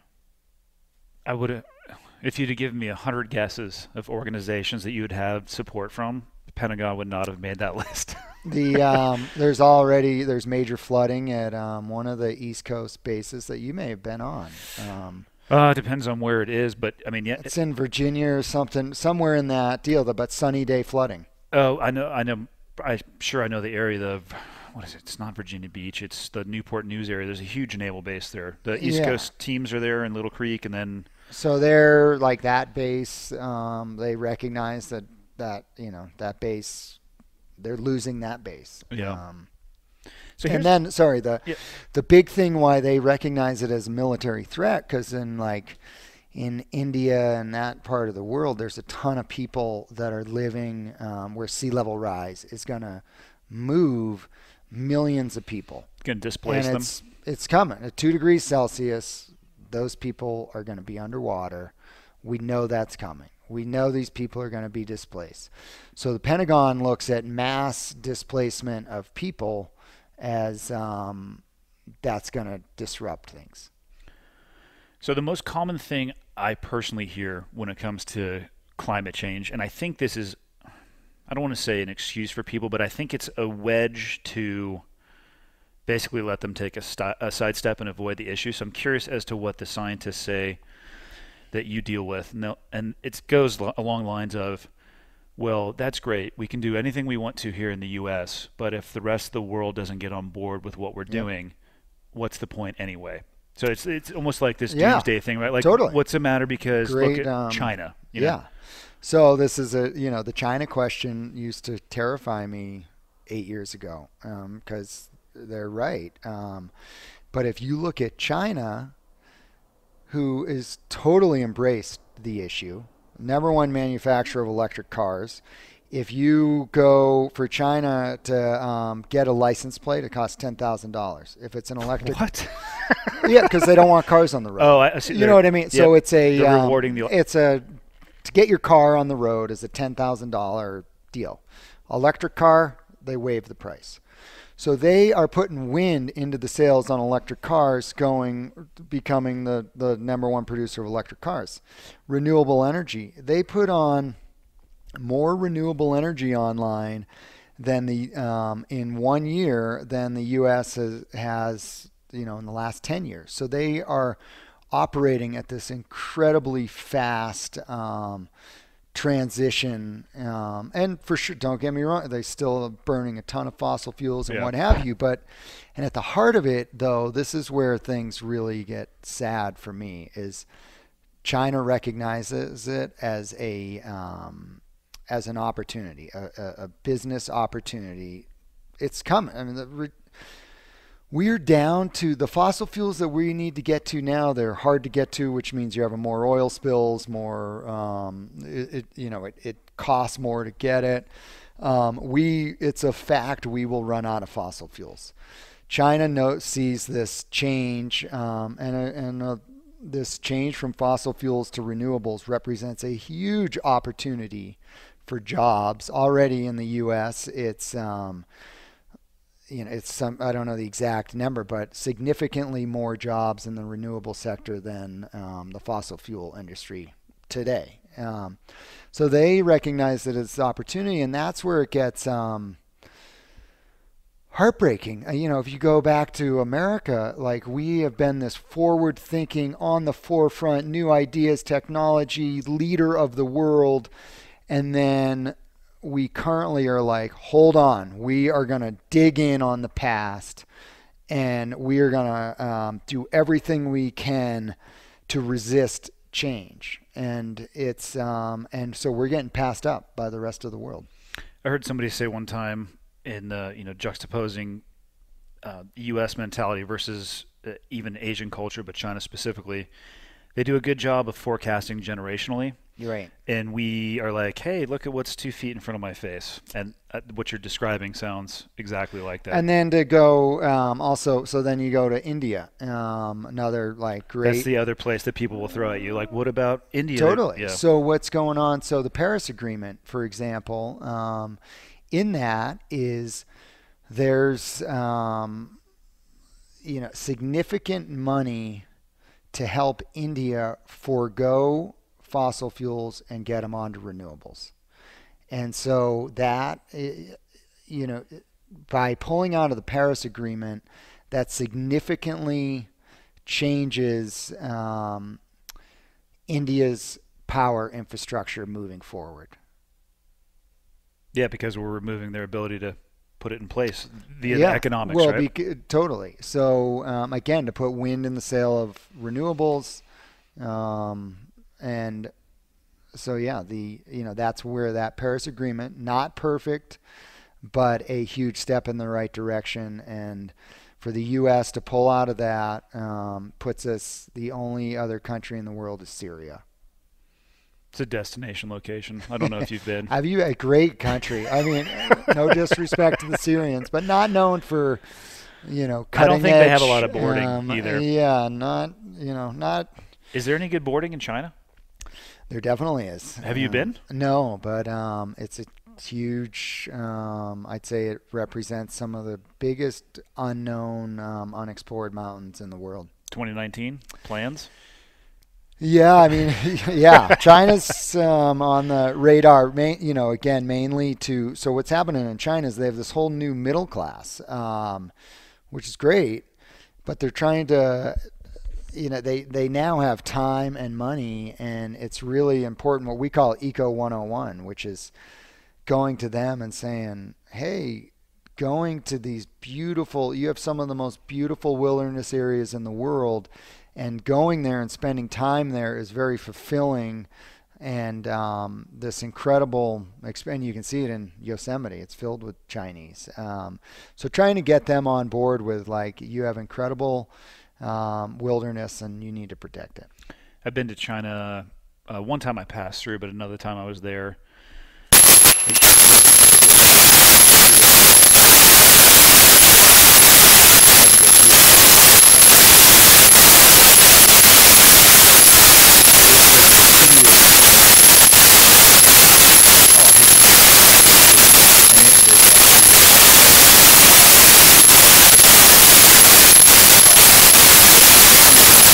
Putting solar up when Yeah. it, 'cause I couldn't even see across the street. It was bad. But also in China, I've heard seen pictures from Miles, the mountains that he's been there based. I'm like, are you kidding me? It looks like uh, Avatar. yeah Some of the most unbelievable, spectacular scenery I've ever seen. That's funny you point out all the Chinese people at uh, Yellowstone Yosemite. It's totally true too. I didn't put Right. those two together. it's they actually have better stuff uh, in their own backyard. Is there a tipping point that uh, that can't be recovered from based off the scientists you work with? Like if it hits a certain point, regardless of what human beings do, other than probably killing half of us.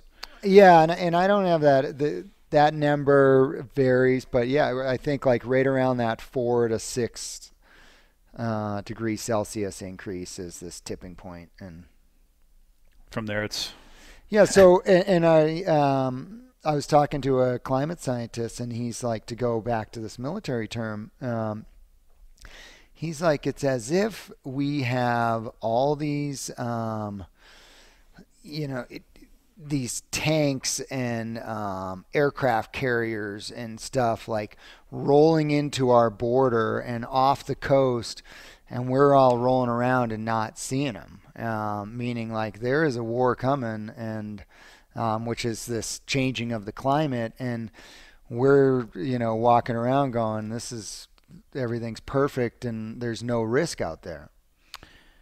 yeah, that's not a that's not a very safe environment to be in from a military perspective for sure.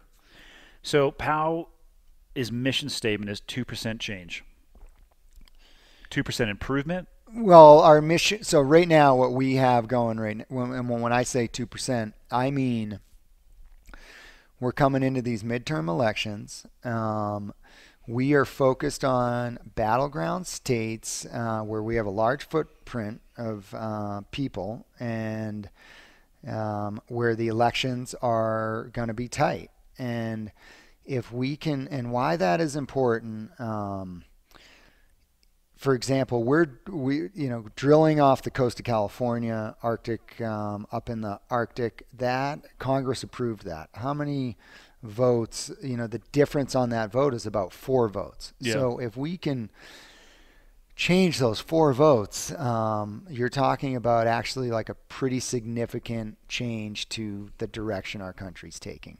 And you know, you mentioned earlier saying that you know the Republican Party is pretty steeped in let's call it oil and gas money Yeah. or fossil fuels. Do you see any of that on the uh, left side of the aisle as well? Does it do they do they do a good job spreading their tentacles across both, or is it pretty cut and dry across the parties? It's to me, my understanding is it's cut and dry. Um, we have not, we have no. Yeah, I mean, there's not a just watching really close to like who's approving Keystone XLs and stuff. There's not a Democrat out there that's approving that. Um, They're voting pretty much just rank and file. yeah, they. Um, yeah. So since you've been paying attention to climate change, since at first the alarm bells went off for you, what's the most effective rebuttal that you've heard? The the problem, or the question that, or the statement that you've had the hardest time addressing? Well, I think um, there's this. I mean, the it's really hard to like come and like cite some science or what. Like, I don't. I don't really. Um, th- there's just nothing that's gonna, you know, win the science. You get scientists on board. You want to like make that a debate in science. I'll listen. Yeah. But as soon as you, I mean, if you think of it and you think of these Republicans that many of them went to these great universities and they use it as a credential to get into office, well, they, you know, they contradict. They have extreme contradiction to the colleges that they're using to say, "Look how smart I am! I went to Harvard." Well, you clearly failed the science class. Um, or you got a huge check stroke to you. Right, and the, and the, I guess the thing that bothers me about the Republican Party is um, just call a spade a spade. You go in and talk to a Texas Republican and go, hey, you know, and he says, hey, you know what? The fossil fuel industry is huge in my in my district in my state. It employs X Yeah. amount, brings this much economy. How can I not support that? I'm going to get killed. It's going to have. That is a valid discussion. Um, West Virginia, it's gonna. These coal mines are killing us. Um, we, it's killing our jobs. Valid discussion. Yeah. Um, Well, it's a but valid- going and like pulling like unicorns out of the sky and like making up fake science to defend that, like that, get we're gotta get past that. It's a valid discussion in the terms of their reelection cycle. It becomes a less valid discussion when you think generationally or the impact Right. that it could have. I get their desire to be in that seat, but wouldn't it? I don't know. That this is where I struggle too. When people take that myopic, they look at a calendar and all they can see is the date on it instead of Right. realizing that there's multiple pages and multiple dates. I would like for Yeah. my I would like for my kids to be able to board for the rest of their life, even though they, their skill level disgusts me after one afternoon. it's uh, yeah. I mean, it's tough. So I'm totally on the outside. You're in the trenches. Right. I'm aware that there's a trenches. I'm not even like looking into them with binos, but it's tough because I just I constantly encounter arguing and yelling and just "Gah, gah, gah, gah, yes no yes no and there's like nothing in between. You got one percent, one percent, ninety eight percent. Right. It's va- It's like the Grand Canyon between the two, and there's just mortars. And so I end up just I shut it off, which I know is the wrong approach, but that's I know, think it's important to be. I mean, you need to. Um, it is important to take breaks from the stuff. I mean, you can't. For me, I've really had to learn that, and um, it's just there's too much. Like eh, there, and have real filters on when you know how much news I consume, where it comes from, um, and just not you know, at the end of the day, we talked about it. I mean, you you fought hard for this country to have these freedoms, and America right now we have issues. Um, but let's make no mistake about it. One, if you're born in America, you have hit the lucky gene, gene pool club. I mean that, that um, it's an incredible opportunity to this day in America. There's a lot of great things to point to. If you, um, as far as being born today um, on this planet, we may look back and go, that was the golden era of humanity. Um, so let's not walk around and um, like we have some major problems and and to to the fact that we have it better than any other um, it, it, it, today is a better time to be alive than any other time. And you know we're in this largely this great peace. Life expectancy is um, way up from what it used to be. There's more clean drinking water than than ever before. There's less starvation than ever before.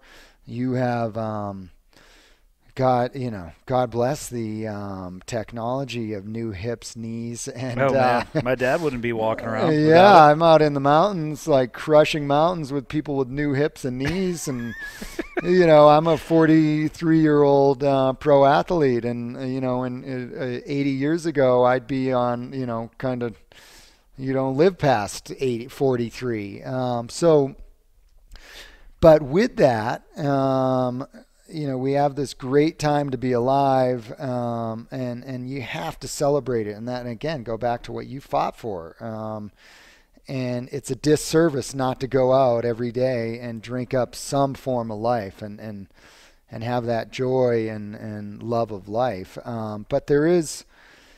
It's a shame if we, you know, we have this golden ticket, and and I equate it to like we've been on this um, we've been at this great dinner party and um, and it's just been so much fun and it's a pool party and it's all this and and the check's coming and we're basically like all right sneak out the back door and you hand the check to the kids. Diamond ditch.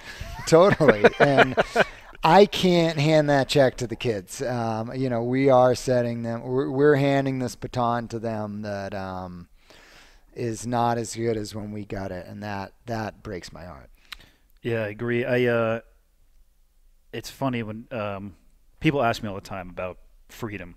right Uh, one one question I get all the time is the NFL kneeling, right? Um, because people immediately associate the flag with the military, even though I'm relatively sure it's owned by all of us in the U.S., Right. not just the 0.05 percent in the military. and I'm honest to with them with my answer, and, and because they ask me if it pisses me off, and I say no, it doesn't.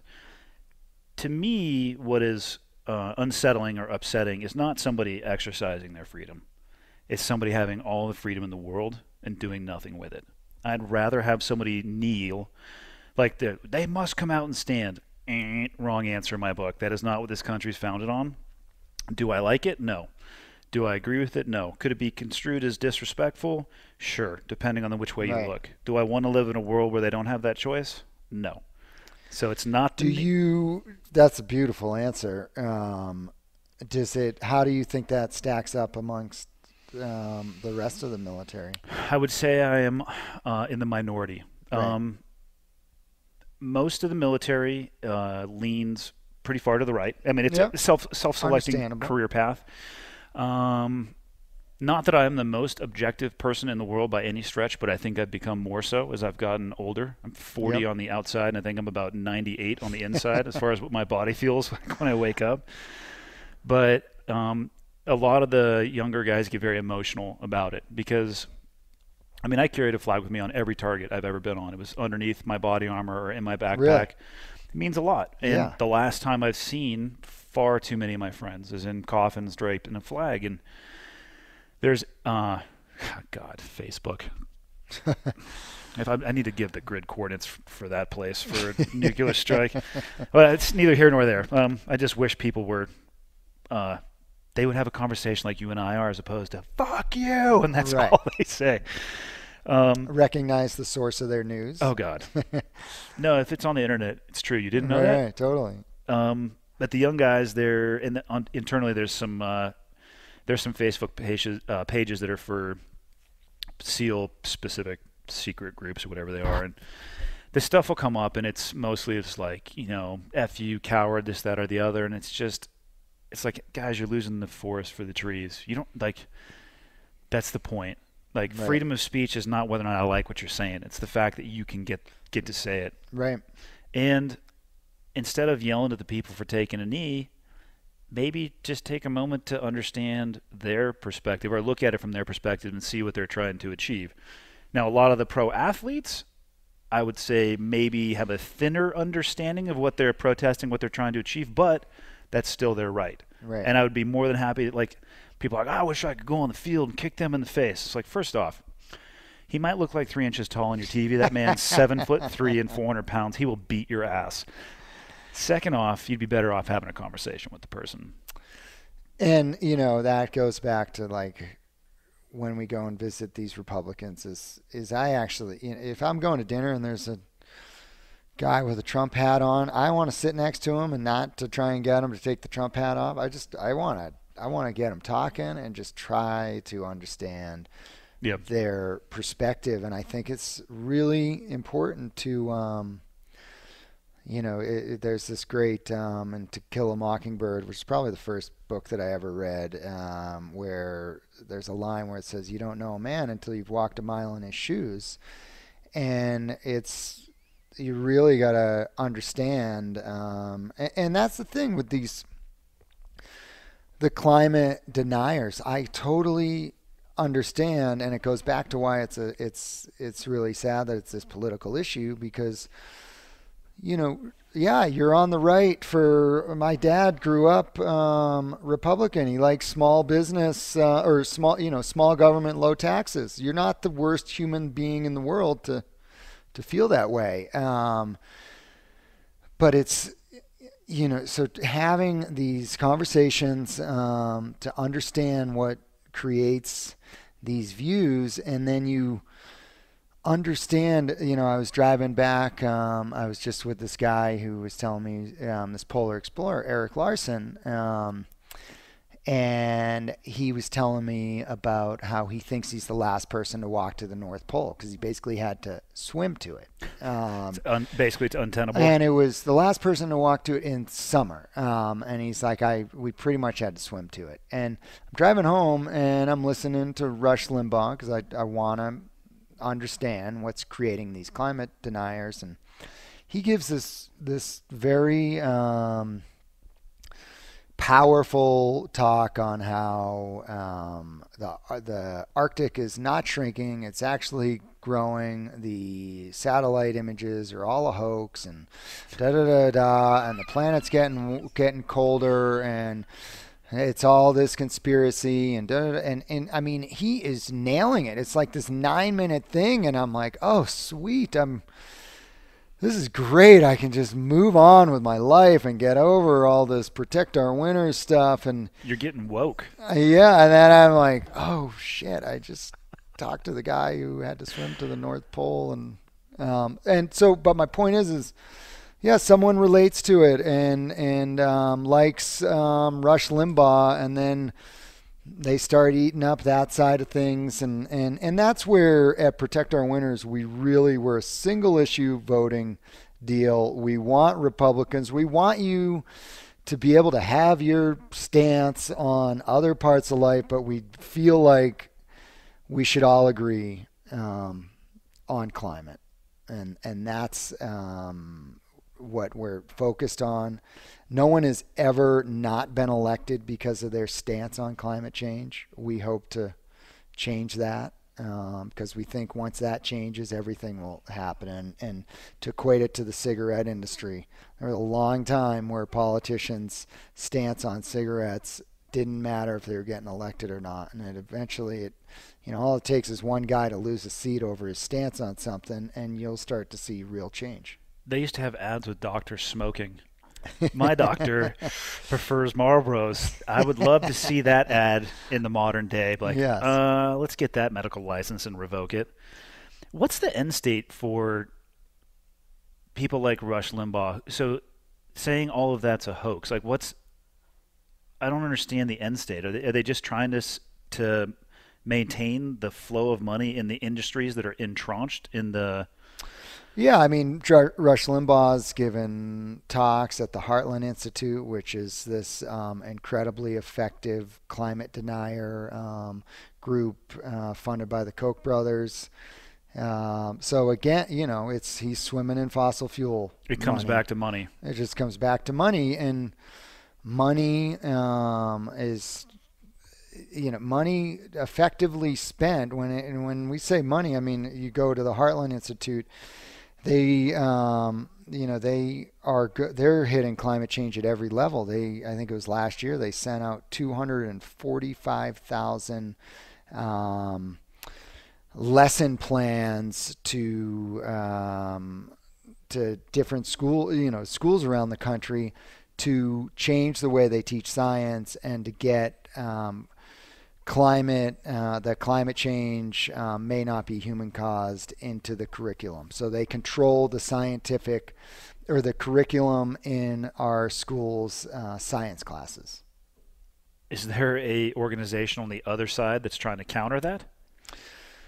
I mean, there is. There's a, we work with a um, group called ACE uh, that does that, but just the funding on that. Um, you know, we right now we are, um, you know, we're we're little hummingbirds fighting dragons, um, and you can win, but we need lots of hummingbirds, and we just don't have enough of them right now. Which is a perfect segue into my next question. For so for me, I mean this this is the longest conversation I've ever had about climate change for sure. No, but which is good, and I know I'm not the only person in that Right. What would you point to as a portal or a reference or an objective starting point that is not tainted by money on either side, some where people can gather their own information? Where would you point people who? Because I think I'm more in the norm than the anomaly when it comes to my knowledge being Right. super low. I mean, there is. Um, I mean, I peer-reviewed science. I mean, you really want to peer peer peel back the layer. Just look at peer-reviewed science on climate change, and um, Do you have any go-to websites? um, I, you know, I can give you um, some websites off. And why I, what I don't want to do is just hand you these like, you know, um, like I, w- I want to hand you websites that maybe are come as far from the right as possible. Yep. Um, and you know, because I think that's the, the the key to that is to to not just be like here's far left media like follow grist dot com for your climate. You know that's this uh, that's just you know you're going to get turned off on a million different reasons for you know the on the vegetarian article or what have you. It's um so i think it's important uh, i think it's super important to understand where your um, news comes from, and you can. There's different. Um, Vox had this really good infograph, and it has you know. On one end of the spectrum is far right clickbait, far left clickbait, and then you know you kind of get into the middle. And I, you know, I like um, I like reading right wing news, left wing news, center news. You know, it's but it's you got to know when you're on a certain website, like, oh yeah, these guys are far left. They're always going to push stuff to the, drag it to the left. These guys are going to drag stuff to the right. You know, and and uh, but just understand what who's behind creating that news. Yeah, if you're reading an article that's from The Onion, don't take it as a uh, documentary or a nonfiction. Which I actually know a few people that maybe they were I don't know a few cocktails deep and like, look at this. I'm like, oh.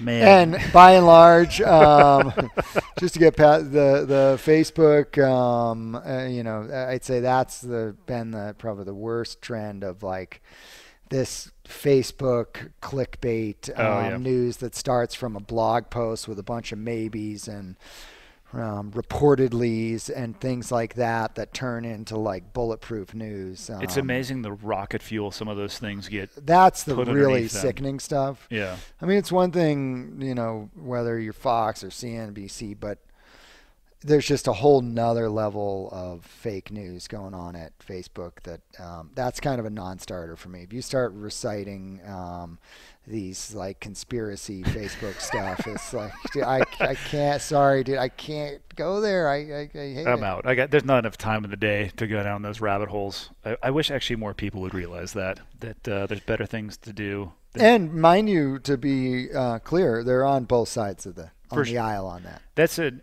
important point. I think uh, it's happening on both sides, and it's the people on the far extremes of both sides that I think are taking up most of the bandwidth. Yep. Everybody else is like the delicious filling of an Oreo sandwich totally. between the two of them. so, how can people, if they wanted to, uh, find out more about POW and support POW?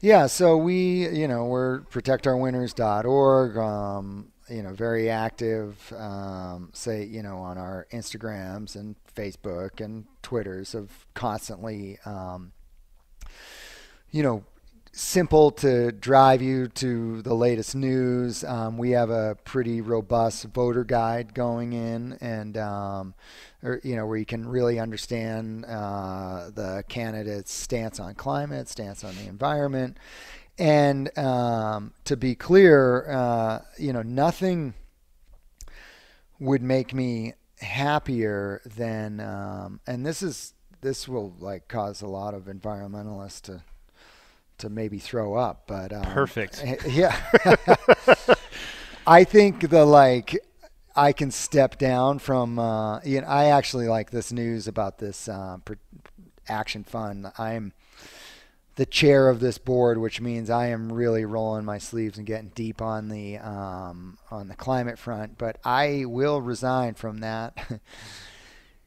being the chair of that board, and go live in my cabin and and go quietly when we have a Republican president that is a champion on climate. To me, that represents that we are now, as a country, working together to embrace um, this, you know, the challenge of our lifetime, uh, and and we're, are, you know, as a complete country, putting all our resources towards it. And I think we can look at um, when we've done that as a country, we have done phenomenal things. Uh, you know, and I guess the the most recent. Um, or the grandest example would be you know your your Normandy to go back to like a, a, a um, military reference of mm-hmm. you know really um, or or you know what the birth of this country which is a bunch of farmers coming together to fight this big empire so collectively the United States can do um, you know we can't be stopped and um, and I think that ironically, or, or, one of the best examples would be it, it, why a Republican climate champion in office just shows me that it's no longer a political issue at that point. I would agree. Are you hopeful or are you uh, concerned that you'll see that in your lifetime? I think I'll see it. You know, the truth always um, wins. It's getting way harder. I, could, I should say. You know, when we go in and talk to um, these Republicans, it's very much um, now it's behind closed doors. You know, no cameras. Um, they are, eh, which is, you know, here you do. You have this like what science is telling us is the um, biggest challenge facing humanity moving forward and you can't even get them to go on record on their science. Um, Wow, and that's an indication of how scared they are. yeah, so and again, to put myself in their shoes, I get it. Yep, I do too. they, you know, they want to keep their job, and um, which I think is the problem with our politicians is we are, we, you know, we have too many. Um, we don't have leaders saying and and bringing new ideas and educating. Like I know you've never heard of this or, or climate tax.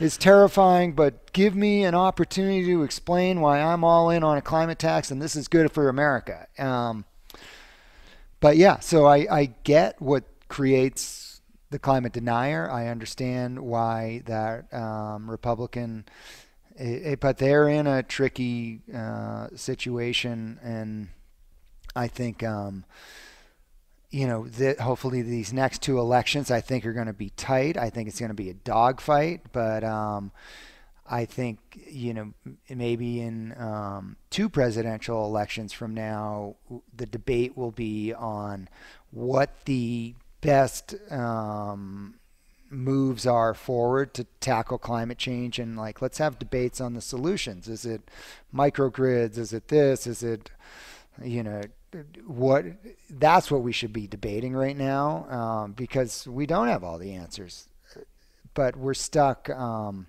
and quite frankly we're not even debating um, climate. I mean the in this last election there was um, it I think the word climate change on these, you know, the these presidential debates was probably mentioned a handful of times, um, and that's because it's a right now it's a somewhere it lies in between a, a number eight and number twelve issue of Yeah. importance for voters. that was in the post you made too. That original one. yeah. Um, and until we get that into a top three issue, the candidates are their feet aren't going to be put to the fire on their stance.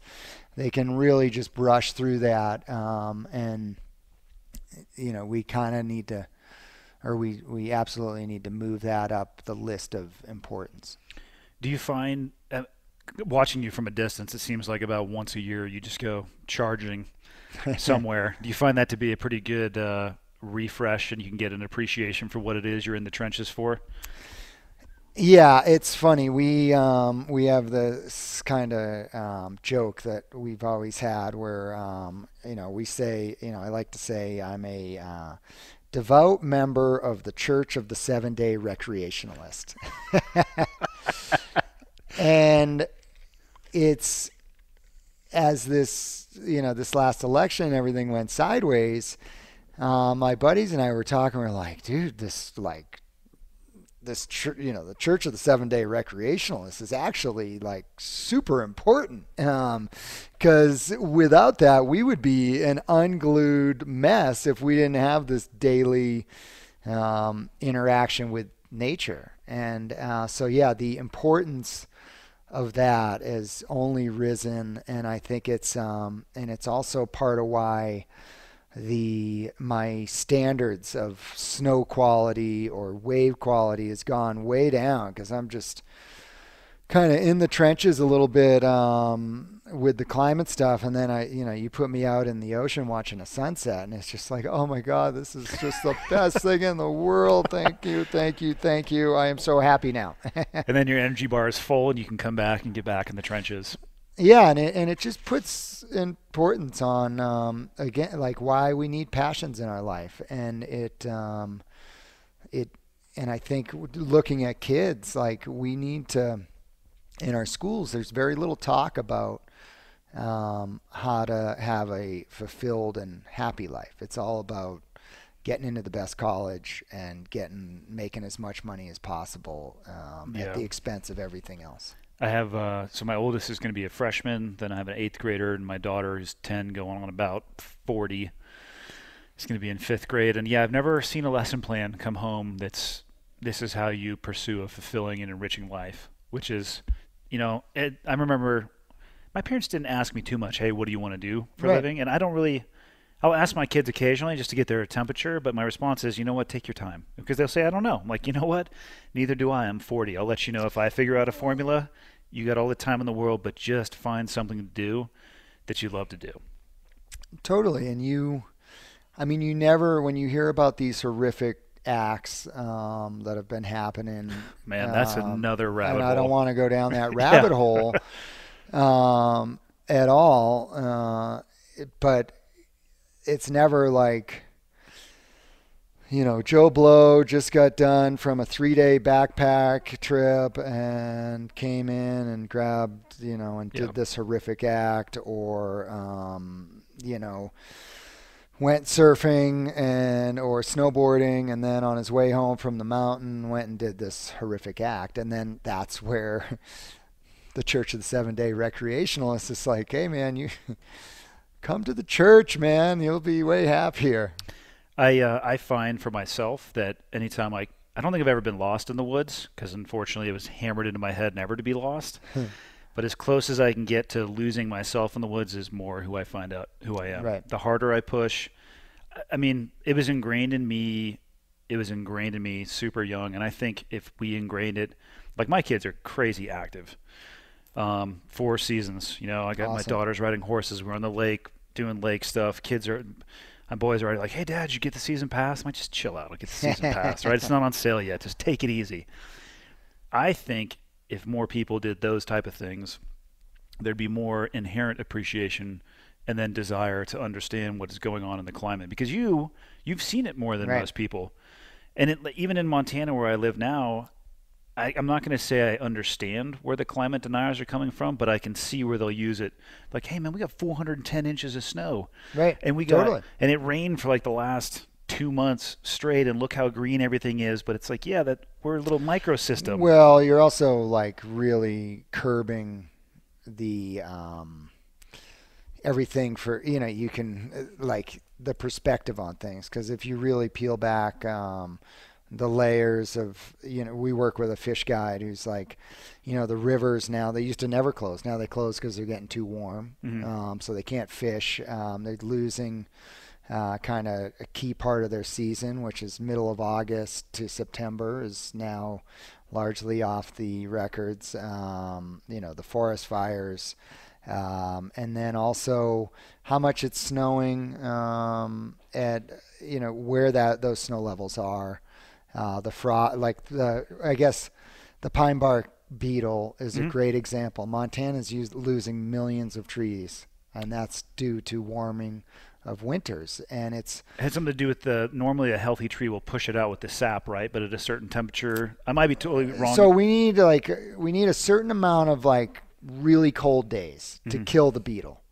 Um, and we're just not getting those that, that those long cold stretches. yeah, because you can see sections of forest that are just Yeah, so Done. because and so Montana, which I'm sure your wife is there going, it is cold.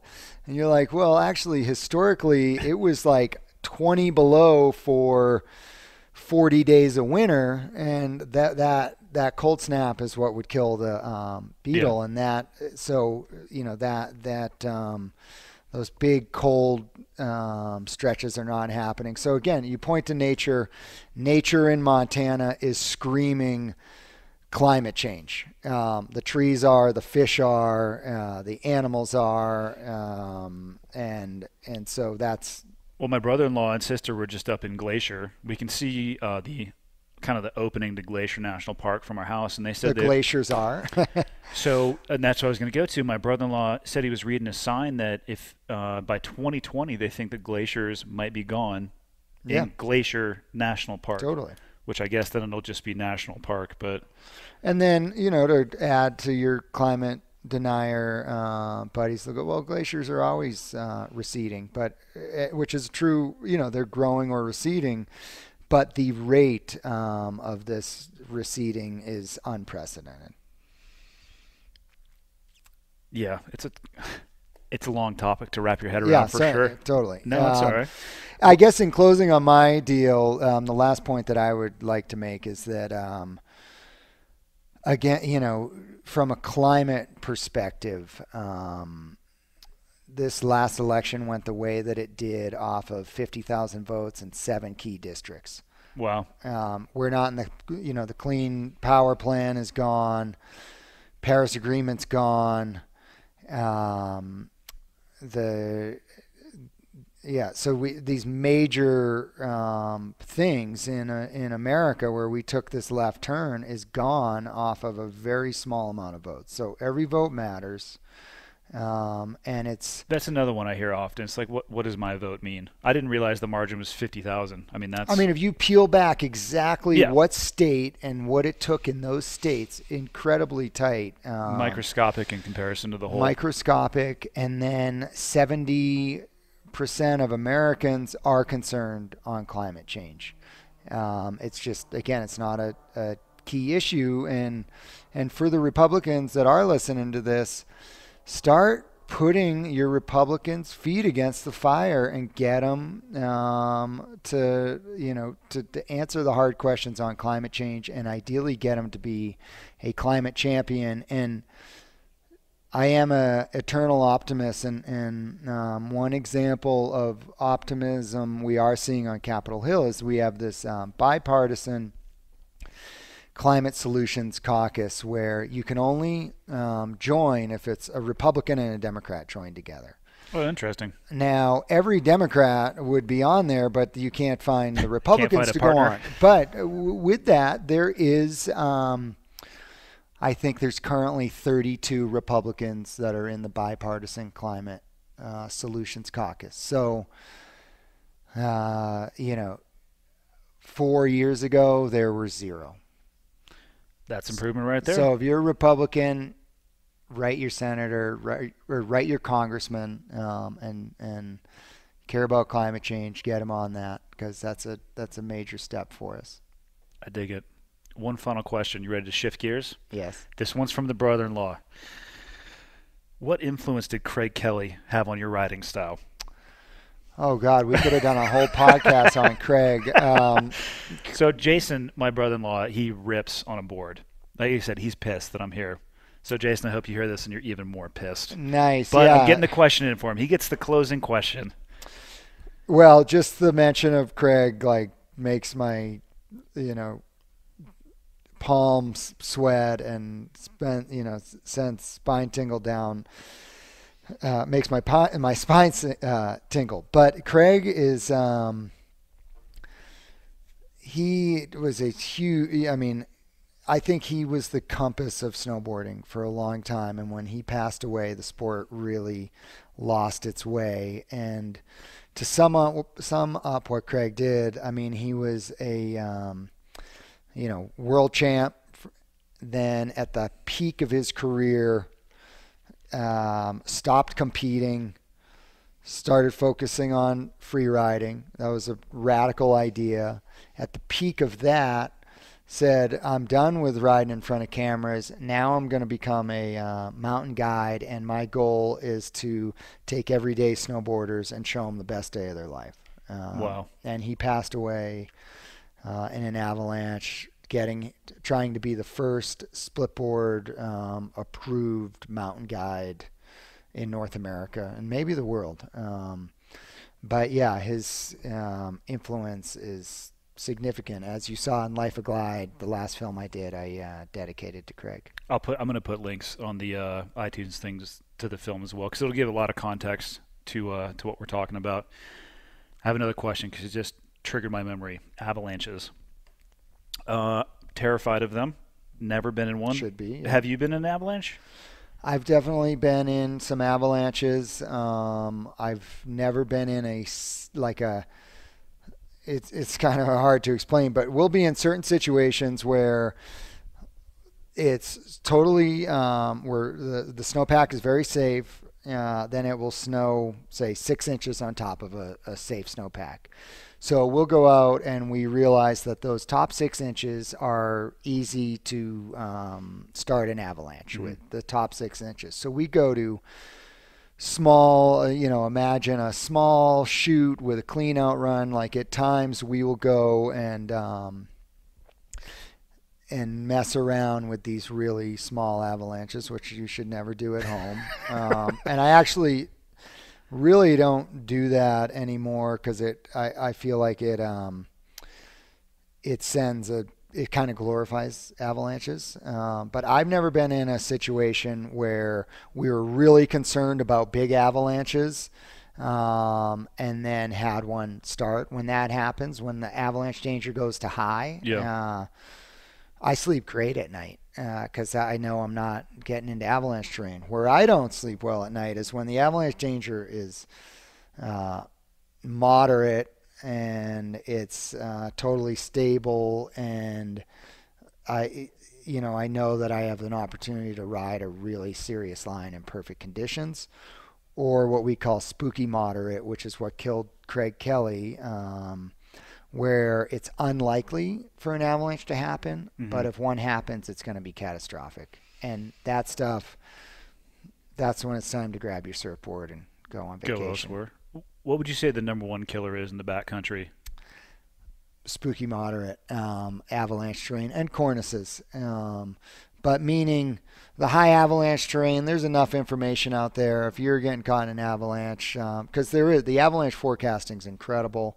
Josh was showing me some of that stuff. yeah, I mean websites. Yep. websites um, where if you're if you're in a populated area, there is real there's people going out every day and evaluating the snowpack. Um, so as long as you're, you know, this deep instability in the snowpack that you'll get in Montana and Colorado, which is complex, meaning, un, you know, that's where they um, unlikely for an avalanche to happen. But if it happens, it's huge.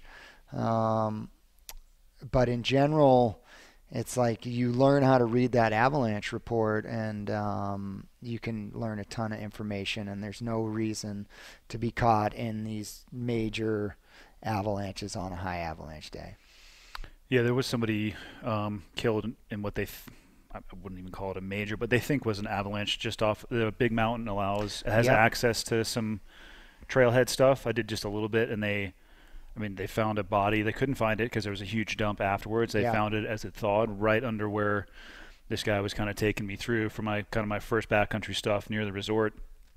I would have never guessed it would have slid there, where they found him. right This was was like, okay, I know absolutely that nothing. means it was probably extreme avalanche danger which then makes really like um, mellow terrain really you know at that point you don't need much to kill someone Sounds like a resort day on those days. definite resort day We have to get you up there to the resort. Oh, definitely um, i like i said you know You I- won't believe these greens. They you're gonna rip them. and the um, the I think they call them snow ghosts, the trees that are all covered in white. Oh man, I took yeah. Those are really unique. Those are that's like some of the only like it definitely in North America You guys don't get those down here. we don't get. I mean, we'll get a little bit of it, but um, I have a few good pictures I need to send you then with your Yeah. board right in front of it, just a massive, uh, because those are all at the top of the mountain. yeah, those are beautiful. Yeah, they're not fun when you hit them. No, Tomahawking. they Not look all soft and fluffy, but um, it's really just a metal pole sitting there. I don't know how many videos I have of just white, blue, white, blue, white, blue, and then you hear because my kids just roll up and I'm sitting there. I mean, I'm laughing too because, Right. like I said, I just say a drunk driver and go with it. And once I go over once, I don't know what's up and Right. down. But yeah, that's that's the journey I've been on. Uh, dude, thank you for your time, man. It was so cool to see that video, start up, watching you from a distance on social media, the generosity to invite me here and sit down and talk about this stuff. I can't thank you enough, man. Well, um, thanks for having me, and thanks for your service. Yeah, it was my pleasure. Most most of it. All right. Cheers. That's it for today, ladies and gentlemen. I guess that's it for this week. What is new? Uh, hmm. Last week we launched Free Range American. That is probably what is the newest uh, aspect of my life. And go to freerangeamerican.us and check it out for yourself. It is a brand that celebrates the freedoms we are so incredibly fortunate and privileged and lucky to have. I dislike people who talk about being free but don't exercise it at all. Not going to necessarily judge them, but I really wish that it was the exact opposite. They exercise their freedom and they talked about it a little bit less. The mission statement for the brand is simple do awesome shit. That's it. You can do that in the water. Whatever form the water may take. Maybe it falls from the sky in little flakes. Maybe you're surfing one foot waves or 50 foot waves, but you're out there, you're pushing the limits. Maybe you're climbing rocks. Maybe you're jumping off the rocks. Maybe you're an athlete, regardless of what kind you are. Maybe you're on a motorbike. Maybe you play hockey, lacrosse, fill in the blank. Any ball, bat, or stick sport, come get some. Maybe maybe you don't do any of those things, but you like just like being outside, you like hiking, you like camping. You know what? Everybody is welcome and invited to hop on board this brand because the best thing about the brand is it's not about me and it's not about Dudley. It is about the people who agree with the mission statement of do awesome shit and the statement that freedom is valueless and meaningless unless you use it. So check it out. Free range American.us. .com didn't really make sense for that particular domain name. And I think, let me see, this comes out on Monday. By the end of this week, if you're listening to this on the release day or the release week, by Friday, the women's apparel should be landing. And let's be honest, no guy is out there doing awesome shit without the support of pretty killer woman as well.